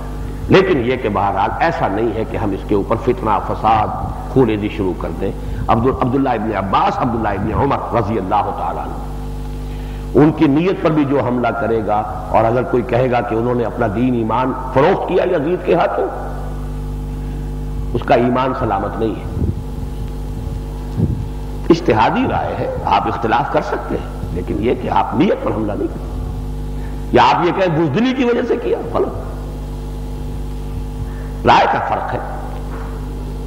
हुसैन इबन अली अब्दुल्ला इबन जुबैर, इन दो की राय हुई कि नहीं वी हैव टू रेजिस्ट चाहे कुछ भी हो, हमें अपना फ़र्ज़ अदा करना। हमारे जीते जी, ये मामला गलत क्यों हो? उनमें यह इख्तलाफ हो गया अब्दुल्ला इबन जुबैर की राय यह थी कि हमें रेजिस्टेंस की मूवमेंट शुरू करनी चाहिए मक्के से, हिजाज से। हज़रत हुसैन के पास वो कूफी कूफी के जो मरकज बन गया था कूफा, उन बलवाइयों का और सबाइयों का। इसलिए कि हज़रत अली ने अपना दारुल खिलाफा कूफा बना लिया था। तो सारे वो आपके जो साथी उस वक्त बने हुए थे, वो सबके सब वही आबाद थे। उन्होंने खतूत की भरमार कर दी, आप यहाँ आइए, हम आपसे बैठ करेंगे। और आप यहाँ से अपना जो है जिहाद शुरू कीजिए। यहाँ हज़रत अब्दुल्ला इबन उमर अब्दुल्ला इबन अब्बास आखिरी वक्त तक रोकते रहे, भतीजे वहाँ मत जाओ, उन पर इतमाद मत करो। लेकिन बहरहाल वो अपनी नेकनीयती से गए वहाँ। उन सबने बैठ फिस कर दी, जब इबन जियाद आया है वहाँ, सब उसने जरा सा डंडा चलाना शुरू किया है। सब के सब बैठ, तोड़ के बैठ गए घरों में। और वही फौज बनकर आ गए हज़रत हुसैन को शहीद करने के लिए। क्योंकि हज़रत हुसैन ने जब यह कहा कि मेरा रास्ता छोड़ दो मैं यजीद के पास जाकर अपना मामला तय कर लूँगा। उन्होंने कहा, अगर ये वहाँ पहुँच गया, इनकी होगी सुना तो शामत तो हमारी आएगी। लिहाजा उन्होंने वहीं शहीद किया। और वो खेमे इसलिए जलाए कि वो सारे खतूत जो हज़रत हुसैन ने पेश किए थे, तुम्हारे ये खतूत मौजूद है मेरे पास, तुमने मुझे बुलाया। अब वो खतूत बाकी रहते तो उनके खिलाफ जो है फर्द जुर्म का सबूत हो जाता। खेमे इसलिए जलाए। ताकि वो जो एविडेंस है वो डिस्ट्रॉय उसके बाद हज़रत अब्दुल्ला इबन जुबैर रज़ी अल्लाह तु वो चूँकि गए थे मक्के वहाँ उनकी हुकूमत कायम हुई कई साल कायम रही फिर उनकी भी शहादत हो गई। ये शहादतें मैं तीसरी कैटेगरी में शामिल कर रहा हूँ कि खिलाफत के निज़ाम में जवाल जब आने लगा इसकी शुराइत की बजाय मौरूसियत का, का इसकी बुनियाद बनने लगी तो जो हजरात खड़े हुए इसका रास्ता रोकने के लिए उनकी शहादत की फहरिस्त में हज़रत अली, हज़रत हुसैन इबन अली अब्दुल्ला इबन जुबैर रज़ी अल्लाह तजमाइन तो ये है दर हकीकत तारीख का एक पूरा पस मंजर। ये ब्रॉड स्पेक्ट्रम अगर आपके जहन में मौजूद है तो बहरहाल हादसा करबला हो, हम में से किसके लिए वो कोई खुशाइन चीज़ है? सख्त अफसोसनाक है। वाक़ हर्रा है, मदीने की बेहरमती हुई है तीन दिन तक। कौन मुसलमान उसको, उस पर अफसोस नहीं करेगा? अब्दुल्ला इब्न जुबैर शहीद किए गए, उनकी लाश लटकी रही है और खाना काबा के अंदर जो है कत्ल हुए हैं। तो कौन उसको पसंद? ये सारी चीज़ें हैं। हज़रत उस्मान की शहादत, हज़रत अली की शहादत, हज़रत तलहा की शहादत, हज़रत जुबैर की शहादत, ये सारी शहादतें जो है, ये अपनी जगह पर है। लेकिन इनसे कहीं बढ़कर मैं कहूँगा कि शहादत उनकी है, जिन्होंने कदवा में शहादत पाई है। मैं शायद इनसे भी बढ़कर उनकी है। तो इंतहाई इब्तदाई दौर में हज़रत यासिर और हज़रत सुमैया शहीद किए गए। तो ये तो शहादतें हैं एक बड़ा चमन है। बड़ी वसी, यूँ समझिए कि शहादतों का एक चमन है, चमनिस्तान है, हर एक का अपना एक रंग है। लेकिन कुरान का फलसफा है शहादत मैंने बयान कर दिया। और इन शहादतों का तारीखी पसमंजर अब आइए तीसरा जो मौजू है मेरा आज का। जो बात मैं अर्ज़ कर चुका हूँ, उसके हवाले से पहली बात तो यह है कि जब तक उम्मत मुस्लिमा दोबारा इज्तमाही शहादत का कोई निज़ाम दुनिया में कायम नहीं करती, कुल की कुल मुजरिम है। इसको कहते हैं फ़र्ज़ किफाया। फ़र्ज़ किफाया, अगर तो यह शहादत का निज़ाम किसी जगह कायम हो जाए दुनिया में तो गोया कि पूरी उम्मत मुस्लिमा की तरफ़ से फ़र्ज़ के फाया अदा हो जाएगा। और अगर कहीं नहीं हो रहा तो पूरी उम्मत मुजरिम में फ़र्ज़ के फाया इसी कहते हैं ना। नमाज़ जनाजा फ़र्ज़ के फाया है। कुछ मुसलमानों ने पढ़ ली सबकी तरफ़ से अदा किसी ने नहीं पढ़ी मुसलमान की नमाज़ जनाजा पूरी आबादी जो है वो गुनाहगार है मुजरिम में जब तक दुनिया के किसी खत्े में वो इस्लाम का निज़ाम निज़ाम खिलाफत अला बिलहाज नबुआ बिलफेल कायम होकर दुनिया के सामने शहादत नहीं दी जाती, ये है दीन अल्लाह का, ये है निज़ाम मोहम्मद रसूलुल्लाह का लाया हुआ। उस वक्त तक पूरी उम्मत एक एक फर्द उम्मत का मुजरिम। सिवाय उनके के जो अपनी हद तक, इम्कानी हद तक तन, मन, धन, इसके लिए वक्त करके जिद्दोजहद कर रहे हो इज्तमाही शक्ल में। वो कफारे के तौर पर कह सकते हैं, अल्लाह के सामने खड़े परवरदिगार, मैंने तो अपनी ज़िंदगी से जायदाद नहीं बनाई। मैंने अपनी कोशिशों से, मेहनत से, जो भी सलाहियतें तूने दी थी, मैंने अपने लिए दुनिया नहीं बनाई, दुनिया नहीं कमाई, मैंने तेरे दीन के लिए लगा दिया। नतीजा निकलना वो तो इंसान की इख्तियार में नहीं। अब इसके लिए जो दावती मरहला है सबसे पहला? उस मरहले का आला है कुरान हकीम। हुजूर के दो जिहाद हुए दीन के कायम करने के लिए। एक जिहाद मक्के में हुआ, जिहाद में कुरान। फला तो तई काफरीन अब जाहिद हम बेही जिहादन कबीरा। सूर्य फुरकान की आयत है। इस कुरान के ज़रिए से जिहाद कीजिए कुरान की दावत, कुरान की तबलीग, कुरान का फ़िक्र, कुरान का फलसफा, कुरान का इल्म, कुरान की हिकमत, कुरान के अहकाम लोगों तक पहुंचाना। तस्कीर कुरान से, तबशीर कुरान से, इंजार कुरान से, ईमान कुरान से तस्किया कुरान से। हजूर का अमल, यतलू अलहिम आयात ही वयुजक्की हिम वयुअल किताब वल हिकमा। यही तो चार मरतबा कुरान में आया।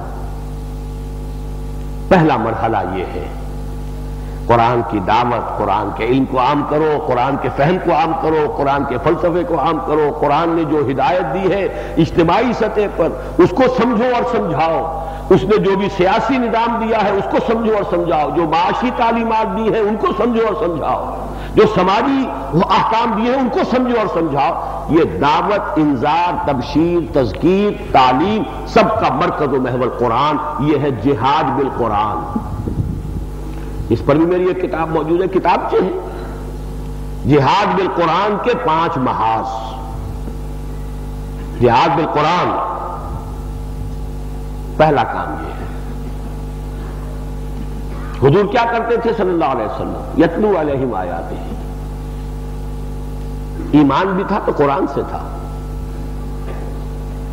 मिनल कुरान मा हुआ शिफाऊ व रहमतुल्लिलमोमिनीन तस्किया भी था तो कुरान से था या युहन्नास कब्जात को मौजत मिल रब्बिकुम व शिफाउन लमाफी सुदूर ऐ लोगों तुम्हारे पास तुम्हारे रब की तरफ़ से नसीहत भी आ गई है सीनों के अंदर जो रोग है उनकी शिफा आ गई है और ये कुरान है वह खुदम व रहमतुल्लिलमोमिनीन अहले ईमान के लिए हिदायत भी है रहमत भी है इस कुरान के इल्म को फैलाना, इसकी दावत को आम करना, इसकी हिकमत को समझना, समझाना, इसके फलसफे को समझना, समझाना। कुरान ने इल्म नफ्सियात कौन सा दिया है? कुरान ने इल्म माशियात कौन सा दिया है? कुरान ने इल्म सियासियात कौन सा दिया है? इन तमाम चीज़ों को कुरान से हासिल करना। और इसीलिए मैंने आपको हदीस सुनाई, हज़रत उस्मान इसके रावी है रज़ी अल्लाह तला ये लिंक है। क्योंकि कुरान मजीद को जो सहाबा हर हफ़्ते में खत्म करते थे तहजद में। एक मंजिल रोज़ाना रात को पढ़कर उनमें सरे फेरिस हज़रत उस्मान इबन अफान और कुरान पढ़ते हुए शहीद हुए हैं और फसयकफी कहमुल्लाह वहाँ आपके खून का कतरे मौजूद है। इनमें से बेहतरीन लोग वो है, हजूर फरमाते हैं जो कुरान पढ़े और पढ़ाएँ, कुरान समझे और समझाएँ, कुरान सीखें और सिखाएँ सीखोगे तो सिखाओगे, पढ़ोगे तो पढ़ाओगे, समझोगे तो समझाओगे। अब समझने के लेवल से कोई फलसफी अपने फलसफे की सतह पर समझता है। कोई माशियात का बाहर अपनी माशियात के एतबार से समझता है। कोई सियासियात और उमरानियात का माहिर अपनी उस सतह से कुरान मजीद को समझेगा। कुरान मजीद में तो जैसे कि इमाम शाफी का शेर है बहुत मशहूर। जमीउल फिल कुरान लाकिन तकासर हो रिजाली। कुल इल्म कुरान में मौजूद है, लेकिन लोगों की अकलें जो है, उससे कासिर रह जाती हैं, पीछे रह जाती हैं, हासिल नहीं कर पाती। वरना इल्म तो पूरा मौजूद है। जब कुरान के दावा हिदल्लास तमाम इंसानों के लिए हिदायत। फलसफी भी उसी में शामिल है, फलसफियों के लिए हिदायत है। तालीम याफ्ता लोग भी इसी में शामिल है, उनके लिए भी हिदायत है। आम इंसान भी शामिल है, उनके लिए भी हिदायत है। अब बाकी के मराही में मैं तफसील से नहीं जाऊँगा इस वक्त। जो लोग इस कुरान से ईमान हासिल करके, फिर वो अपनी जबानी और अमली शहादत अपनी जिंदगियों में दे दे। इंफरादी ज़िंदगी वो जमा होकर ताकत बने, फिर जिहाद भी सैफ करे। दो ही जिहाद है, जिहाद बिल कुरान, जिहाद भी सैफ। मदीने में जिहाद भी सैफ हुआ, मक्के में जिहाद बिल कुरान हुआ। उसकी शराइत अगर पूरी हो, बारह उसका तो फिर मेरी पूरी किताब मनहज इनकलाब नबी इस मौजू पर है। उसके मराहल क्या क्या है? हर मरहले की क्या शराइत है? उस पर पहले गुफ्तु भी हुई है। इस वक्त मैं खास तौर पर कुरान मजीद के ज़रिए से इस दावत के जीवन में कुछ अर्ज़ करूँगा। मैंने दो मकाम से आयात आपको सुनाई है। इस पहलू से खास तौर पर। सूर्य रहमान, चूँकि वही काफिया जो है, वो वही है। अर रहमान अल्लमल कुरान हलकल इंसान अल्लमहुल बयान आयतें चार जुमले तीन पहली दो आयतों से जुमला एक बनता है और रहमान अल्लमल कुरान रहमान ने कुरान का इल्म दिया है कुरान सिखाया है खलकल इंसान उसने इंसान को तकलीफ़ फरमाया है अल्लाहुल बयान उसे कुत बयान अता की है वो गोयाई इसमें एक नुकता तो ये नोट कीजिए, चार आयतें क्यों बनाई? हालाँकि तीन जुमले हैं, तीन आयतें हो सकती थी। ताकि अलहदा अलहदा आइडेंटिफाई हो जाए। चार चीज़ें हैं जो चोटी की बयान की जा रही है यहाँ। अल्लाह के नामों में महबूब तरीन नाम रहमान है। इसलिए कि रहमत का मादा है और फालान के वज़न पर है। ठाठे मारता हुआ समंदर रहमत खुदाबंदी का वो लफ्ज रहमान में ज़ाहिर होता है। गजबान अफशान, जुआन, इस वज़न पर आता है निहाज भूख से मरा जा रहा हो तो शख्स कहेगा, आना जुआन। प्यास से मरा जा रहा है तो आना अफशान। निहाज गजबनाक है, आग बगूला है तो गजबान। रहमान जिसकी रहमत ठाठे मारते हुए समंदर के मारेंगे अल्लाह के नामों में सबसे प्यारा हसीन और हमारे लिए सबसे अहम। इसलिए कि रहमत के बगैर निजात नहीं हुजूर ने फरमाया, कोई शख्स महज अपने अमल से जन्नत में दाखिल नहीं होगा, जब तक कि रहमत खुदाबंदी दस्तगिरी न फरमाए। और किसी ने पूछ दिया हुजूर, क्या आप भी? आपने फरमाया हाँ मैं भी। रब्बी बेरहमत ही मेरा रब मेरी रहमत को से अपने, अपनी रहमत से मुझे ढांप लेगा, तभी मैं। तो रहमान से बढ़कर प्यारा कोई नाम होगा? अल्लमल कुरान कुरान सिखाया। केमिस्ट्री किसने सिखाई? अल्लाह ने सिखाई या नहीं? किसी और ने सिखा दी? अल्लाह ने जो इल्म हज़रत आदम को इल्म असमा दिया था, उसी की एक्सफोलिएशन हो रही है ना, उसी का जहूर है। दिया हुआ तो इल्म उसी का है। सब कुछ उसने सिखाया, लेकिन तमाम उलूम में चोटी का इल्म, कुरान। ये चोटी की चार चीज़ें हैं। अच्छा खलक अल इंसान तो जिन्नों को किसने बनाया? फरिश्तों को किसने बनाया? किसी और ने? आसमान किसने बनाए? पहाड़ किसने बनाए? हैवान किसने बनाए? सितारे किसने बनाए? सब कुछ उसने बनाया, लेकिन उसकी चोटी की मखलूक इंसान, अशरफुल मखलूकत खलक कहू बे यदैया जिसको मैंने अपने दोनों हाथों से बनाया, जिसके सामने सारे फरिश्ते सर्वसजूद कर दिए गए जिब्राइल समेत निकाई समेत, इसराफील समेत झुको सजदा करो आदम। फसजदल मलायक तो कुल मजमाऊ तीन तीन मरतबा जो है, जमा, कुल के कुल। सजदल मलायक अलिफ्लाम हसर का है। सब फरिश्तों ने सजदा किया। कुल्लो उनमें से सबने किया। अजमाउन सबने किया। जमा होकर किया यकबारगी किया। तो सबसे ऊँची मखलूक इसलिए खलीफतुल्लाह है ना। इनमें जायलू फिलर्द खलीफा है। और नंबर चार, इंसान को जो सलाहियतें दी, उनमें चोटी की सलाहियत बयान। आपको बिनाई की सलाहियत दी, बहुत से हैवानात की बिनाई, आपसे मेरी बिनाई से न मालूम कितने हज़ार गुना ज़्यादा है। ऐसे हैवान है जिन्हें देखने के लिए रोशनी नहीं चाहिए। अंधेरे में भी देखते हैं।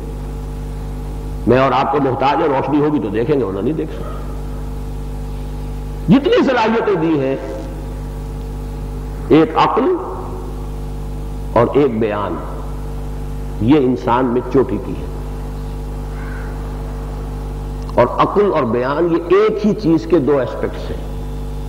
किसी चीज़ को समझना, फिर बयान करना। इसलिए जिन लोगों ने मेडिसिन की तालीम हासिल की है फिजियोलॉजी पढ़ी है ब्रेन सबसे ऊँचा जो है हिस्सा उसका ग्रे मैटर उसमें स्पीच सेंटर सबसे बड़ा है। उसके भी दो हिस्से हैं। समझने वाला स्पीच सेंटर की बात को समझे। और फिर बोलने वाला और समझाने वाला और एक्सप्रेस करने वाला अपने आप को यह है एक ही शय के दो बाजू है। यह है अल्लाहुल बयान। वो बात समझता भी है बयान भी कर सकता है। ये चोटी की सलाहियत है इंसान में। इसका मंतकी नतीजा क्या निकला? चोटी की सलाहियत चोटी की शय पे सर्फ होनी चाहिए। आप तोप से मक्खी नहीं मारते, तोप से तो कोई और काम लिया जाता है ना। मक्खी तो बगैर उसके भी मारी जा सकती है। कुत बयानिया इस्तेमाल करो, सिर्फ़ कुरान को बयान करने पर।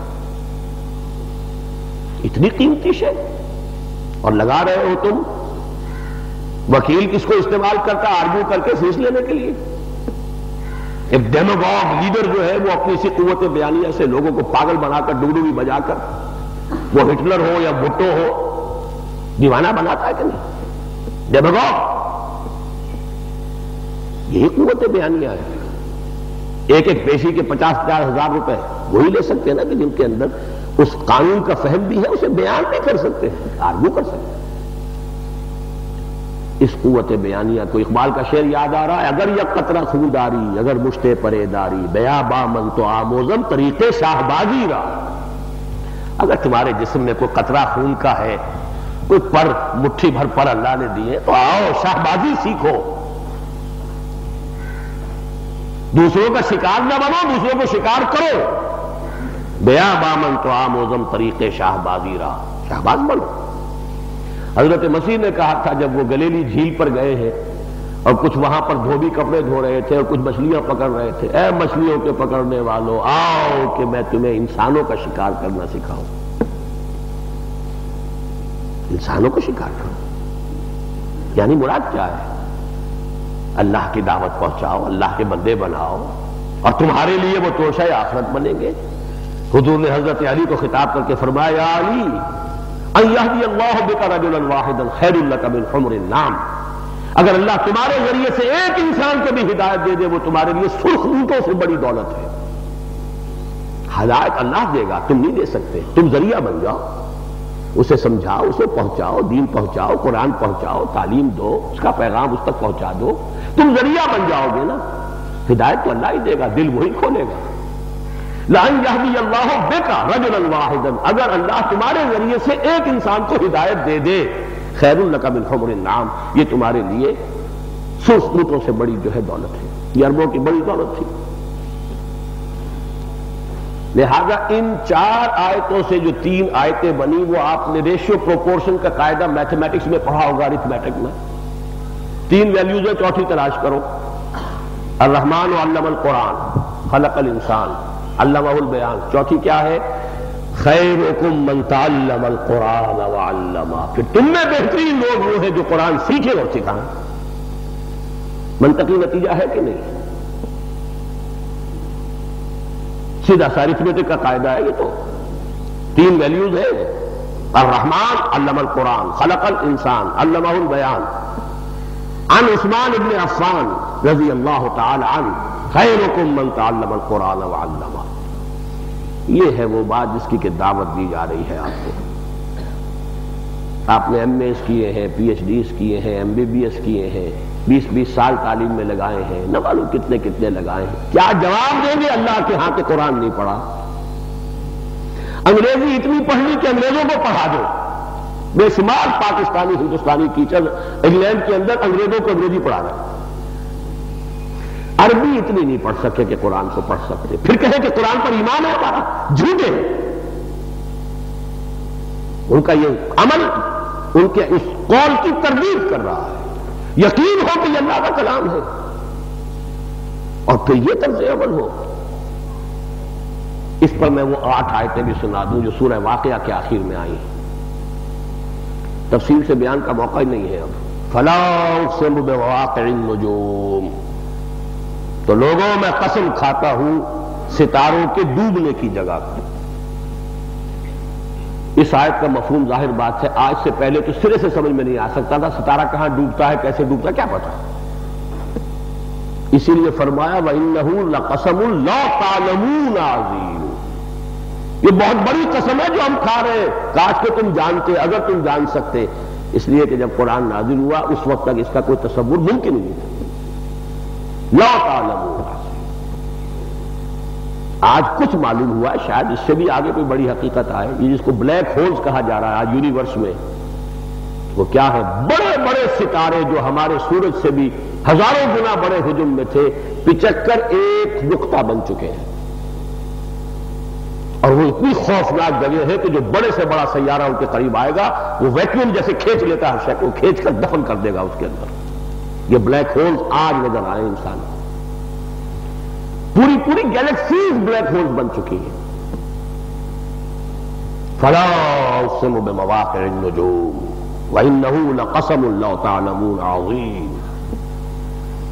इतनी बड़ी कसम खाकर बात क्या कही? कुरान करीम। ये कुरान है, बहुत बाइज्जत। तुम इसकी कदर को नहीं जानते। ये करीम का लफ्ज अरबी जबान में अब मैं क्या करूँ? वक्त खत्म हो रहा है। किसी की तारीफ़ करनी हो करीम उन करीम, इससे आगे कोई लफ्ज ही नहीं। वाक़ है हजूर की हयात तय्यबा का। गजवा तबूक के लिए जाते हुए या आते हुए वाक़ पेश आया है कि हुजूर अकेले रह गए, पूरा लश्कर इधर उधर मुंतशिर हो गया।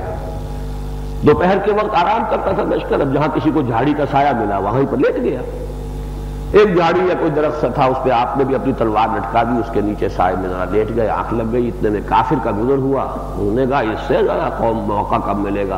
किस्सा तमाम करूँ, आज मोहम्मद का हुजूर की तलवार ली और खेचा। आँख खुली हजूर के लेटे हुए हैं। वो खड़ा है। कहता है, मोहम्मद, अब बताओ, तुम्हें कौन बचा सकता है मुझसे? फरमाया, अल्लाह। अल्लाह बचा सकता? मैं तो उस अल्लाह को मानता हूँ, जो अला कुल्ल शैन कदीर है। असबाब उसके मोहताज है, वो तो असबाब का मोहताज नहीं। ऐसा लर्जा कारी हुआ, तलवार हाथ से गिर गई। अब हजूर ने उठाई।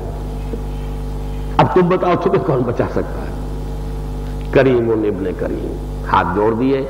आप तो बड़े करीम, बहुत शरीफ इंसान है, बड़े शरीफ इंसान के बेटे हैं। आपने फरमाया, जाओ, वादा एक करो, हमारे खिलाफ, मुसलमानों के खिलाफ किसी जंग में शरीक ना होना। वादा है। अब जो गया है तो अपनी कौम से कहा, जे तो कुम इन अक्रम नास। इस वक्त मैं जो आ रहा हूँ तो शरीफ तरीन इंसान के पास से आ रहा हूँ। ये जो लफ्ज मैंने आप बता ये करीम किसे कहते हैं? कुरान करीम, फ़ी किताब मखनून। अजीब बात आप फ़र्ज़ कर रहा हूँ। ये जो हम पढ़ते हैं, समझाने के लिए, नहीं, ये ना समझिएगा, कुफर का कलमा कह रहा हूँ, ये कुरान नहीं है। ये कुरान की मुसद्दका नकल है। कुरान तो किताब मखनून में है, लौहे मखसूस में है। उम्मिल किताब में है इन्नूफी उम्मिल किताब लदैना लाली हकीम। ये तीन अल्फाज कुरान में आए हैं। इन्नहूल कुरान मजीद फ़ी लौह महसूस इन्नहूल कुरान करीम फ़ी किताब मखनून छुपी हुई किताब है मख्फी हमारी निगाहों से ओझल है। इन्नहू फ़ी उम्मिल किताब लदैना लाली वो हमारे पास है, वो उम्मिल किताब। बड़ी बुलंद बाला। तो जैसे कोई हाई कोर्ट का जज जो है जजमेंट लिख देता है, फिर उसकी नकलें जो है वो दे दी जाती हैं। तो असल कुरान तो वहाँ है। ये उसकी मुसद्दक का नकूल है हमारे पास। ला यमसरून इसे छू ही नहीं सकते। मगर वो लोग जिनका अंदर पाक हो चुका हो उनको जो पाक हो गए हो, अब इसका एक तो मफहूम ये लिया और ठीक है, फुकहा ने मसला निकाल लिया कि नापाक आदमी कुरान को छुए ना। अगर बड़ी नापाकी है तो पढ़ भी नहीं सकते, अपनी याददाश्त से भी नहीं पढ़ सकते। अगर सिर्फ़ छोटी नापाकी है जो वज़ू से खत्म हो जाती है तो छू नहीं सकते, पढ़ सकते। लेकिन इसका असल मफहूम बिल्कुल और है। ये भी है, तमाम ये भी है असल और। जिसका अंदर पाक ना हो सका हो हो चुका हो, इस कुरान की असल हकीकत उस पर कभी मुंकशिफ नहीं होगी। आलिम बन जाए, कंप्यूटर बना ले अपने दिमाग को। मालूम का खजाना बहुत से मुस्तशरकिन के पास है। मुझसे और बहुत से बड़े बड़े उलमा से ज़्यादा फैक्ट्स एंड फिगर्स कुरान के बारे में उनके जेनों में है। कोई शख्स मुफसर बना फिरता है है मुफसर किताबें पढ़ी जा रही हैं। अमल में कुछ नज़र नहीं आ रहा। कुरान उसके बातिन में उतरा नहीं, इसलिए कि बातिन नापाक नापाक बर्तन में यह कुरान नहीं उतरेगा। इसके अल्फाज जबान पर होंगे। बड़े कारी हैं, बहुत बड़े कारी हैं। और हजूर की हदीस से अक्सर मुनाफिकी उम्मती कुर्राओ हा मेरी उम्मत के मुनाफिकीन की अक्सरियत कारियों पर मुश्तमिल है। दिखाने के लिए, पैसे बनाने के लिए, अपना इजहार फन करने के लिए, अपने सांस की लंबाई का सबूत देने के लिए करार फरमा रहे अक्सर मुनाफिकी उम्मती कुर्राओ हा ये मेरा जो किताब चाहे मुसलमानों पर कुरान मजीद के हुकूक, हवाले के साथ ये हदीस दर्ज है उसमें। तो कुरान पाक हो जाता है तो उसके अंदर उतरता है। तेरे जमीर पे जब तक न हो नजूल किताब गिरह कुशा है, न राज़ी, न साहिब कशाफ तो जमीर अंदर से पाक होगा तो कुरान उतरेगा। इसे छू भी नहीं सकते, इसकी कुलह तक नहीं पहुँच सकते, इसकी हकीकत के करीब नहीं पटक सकते, मगर वो जिनका तस्किया हुआ। इसीलिए तीन जगह कुरान में युजक्कीहिम पहले है युअल महमूल किताब अवल हिकमा बाद में है। यतलू अलहिम आयात ही व युजक्कीहिम व युअल महमूल किताब अवल हिकमा। और यह कि वो तस्किया भी कुरान से होगा, ये एक अलग मौजूद है, उसके ऊपर फिर कभी गुफ्तु होगी। तंजील रबालमीन ये तंजील है उस रब की तरफ़ से जो तमाम जहानों का पालनहार मालिक है, परवरदिगार है। अफब हाजल हदीस हम तुम मुझनून क्या इस जैसी चीज़ के लिए तुम मुदाहनत बरत रहे हो? कसल है, सुस्ती है नाकदरी है। बतज अलून रिस्कतुम अन्नकुम तुकजबून तुमने अपना नसीब यह बनाया है, तुम उसे झुटला रहे हो। यह झुटलाना एक जबान से झुटलाना है, जो अबू जहल और अबू लहब झुटला रहा था। एक अपने अमल से झुटलाना है, जो हम झुटला रहे हैं। ना पढ़ना, ना समझना, ना सीखना, ना अमल करना, ना लोगों तक पहुंचाना, झुटलाना और किसे कहते हैं? बुतों से तुझको उम्मीद है खुदा से नौ उम्मीदी मुझे बता के सही, और काफरी क्या है? इसका सबूत भी कुरान से दे दूँ, कहीं आप कहें कि मैं अपने पास से कह रहा हूँ। सूरह जुमा की आयत नंबर पाँच क्या है? मसलजीन हमलू तौरात सुमलम याहमलूहा कमसल हिमार याहमल असफारा। मिसाल उन लोगों की जो हामिल तौरात बनाए गए, फिर उन्होंने उसकी जिम्मेदारियों को अदा नहीं किया। उन गधों की है जिनके ऊपर किताबों का बोझ लदा हो। बेसा मसल कौम नजीन कसदबू बे आयात बुरी मिसाल है उस कौम की जिसने अल्लाह की आयात को झुटलाया है। तो क्या बनी इसराइल ने कभी तौरात को झुटलाया है? जबान से तो नहीं झुटलाया, अमल से झुटलाया। उसके अहकाम पर अमल नहीं किया, उसकी ज़िम्मेदारी निभाई नहीं झुटला रहा तो जान लीजिए, अच्छी तरह कान फोड़ कर सुन लीजिए, मैं आपको आज चैलेंज कर रहा हूँ। आज समझिए कि आप अदालत खुदाबंदी में खड़े हैं। क्या उधर है आपके पास? 20-20 साल तक आपने वो उलूम हासिल किए हैं, जिनका हासिल सिवाय मार्च के अच्छी तनख्वाह अच्छा कैरियर अच्छी दुनिया और क्या है इसका हासिल? क्या जवाब देंगे? कोई जवाब अगर है जिसको कि आप मुतमिन होकर इस वक्त दे सके, तभी उम्मीद रखिए कि क्यामत में भी कोई उधर आप पेश कर सके। ये घड़ी महशर की है, तूर से महशर में है, पेश कर गाफिल अमल कोई अगर दफ्तर में है। ये है वो काम जिसके लिए हमने अंजुमन कायम की, लाहौर में की। मैं तो अल्लाह के फजल से पैंसठ सन पैंसठ के बाद से लेके आज तक। अब आप समझिए कि तीस बरस होने वाले हैं, अगले साल मुतमिन हूँ। अपनी ज़िंदगी का बेशतर, बेहतर, अपनी सलाहियतों का बेशतर, बेहतर किसी पर लगाया है। कुरान पढ़ा है, पढ़ाया है, सीखा है, सिखाया है। और सबसे बढ़कर अल्लाह ने जो कामयाबी दी, कम से कम पचास ऐसे नौजवान आला तालीम याफ्ता। एमबीबीएस बीडीएस डॉक्टर सभी आ रहे हैं बीडीएस यहाँ? जुमे के रोज, जुमे आके खुतबा दे रहे हैं कि नहीं? फारूकी साहब मुल्तान से आए थे कि नहीं यहाँ? सिविल इंजीनियर है। नवीद यहाँ पे है या नहीं है? मैकेनिकल इंजीनियर है। मेरा बड़ा बेटा एमबीबीएस है। दूसरा बेटा एमए फिलोसफी है। तीसरा बेटा पीएचडी कर रहा है इकोनॉमिक्स में सब कुरान का दर्श दे रहे हैं। चार बेटे हैं, वो भी इसी काम में है और बाकी भी सब मेरे सुलभी नहीं तो मानवी बेटे हैं। जो मेरे इस काम में शरीक हुए नौजवान, पूरे इतमान के साथ बहुत आगे गए, बाकी जो है तैयार बैठे हैं। मैं तो मसनून उम्र खत्म कर चुका हूँ, लेकिन इस मामले में पूरा इतमान है। अल्लाह कर सकता हूँ, अल्लाह कुछ नहीं बनाया। इस दुनिया में जो कुछ मैंने खाया कमाया है, उसका भी खर्च मैंने पूरा का पूरा हिसाब, आमद और खर्च का दे दिया है, अगले निसाब के अंदर आ जाएगा। क्योंकि दुनिया में यही रवायत है, सियासतदान हो या मज़हब के खादमीन हो। सूर्यधन पैदा हो चुका है, दुनिया कमाने का ज़रिया बनाते हैं सियासत को भी और खिदमत दीन को भी। जायदादें बनाते हैं बड़ी बड़ी गद्दियाँ हैं, उन गद्दियों के मुकदमे होते हैं बाद में। वो गद्दियों वाले जो है, वो अल्लाह वाले कहलाते हैं, छोड़कर वो जायदा ले जाते हैं, जिन पर औलादों के कत्ल होते हैं। और हो रहा तस्किया नफ्स। ये है हाल। तो जैसे आप कहते हैं कि सियासतदानों को अपने असासे ज़ाहिर कर देने चाहिए, कि सियासत में आने से पहले क्या थे, बाद में क्या है? मैंने जो भी काम किया है अपनी ज़िंदगी का पूरा हिसाब किताब जो मिसाक आएगा, उसमें दे दिया है। मेरी कमाई इस ज़िंदगी में, बहरहाल जो दूसरी मेहनत है तहरीक खिलाफत तंजीम इस्लामी, उसका तो कोई चूँकि टेंजिबल कोई नतीजा अभी सामने नहीं आ रहा है। लेकिन वो नतीजा अल्लाह के फल से मेरे सामने है कि कम से कम पचास नौजवानों को इस काम में खैर हुकुमन कुरान वालमा इस काम में लगा दिया है। तो मैं तो पूरे इतमान के साथ दाई अजल को लब्बैक कहने के लिए तैयार लेकिन ये सारी गुफ्तु आज आपके यहाँ इसलिए हुई है कि यहाँ अंजुमन कायम हुई अकेडमी कायम हुई, अब मस्जिद है, वो बन रही है, जो भी है।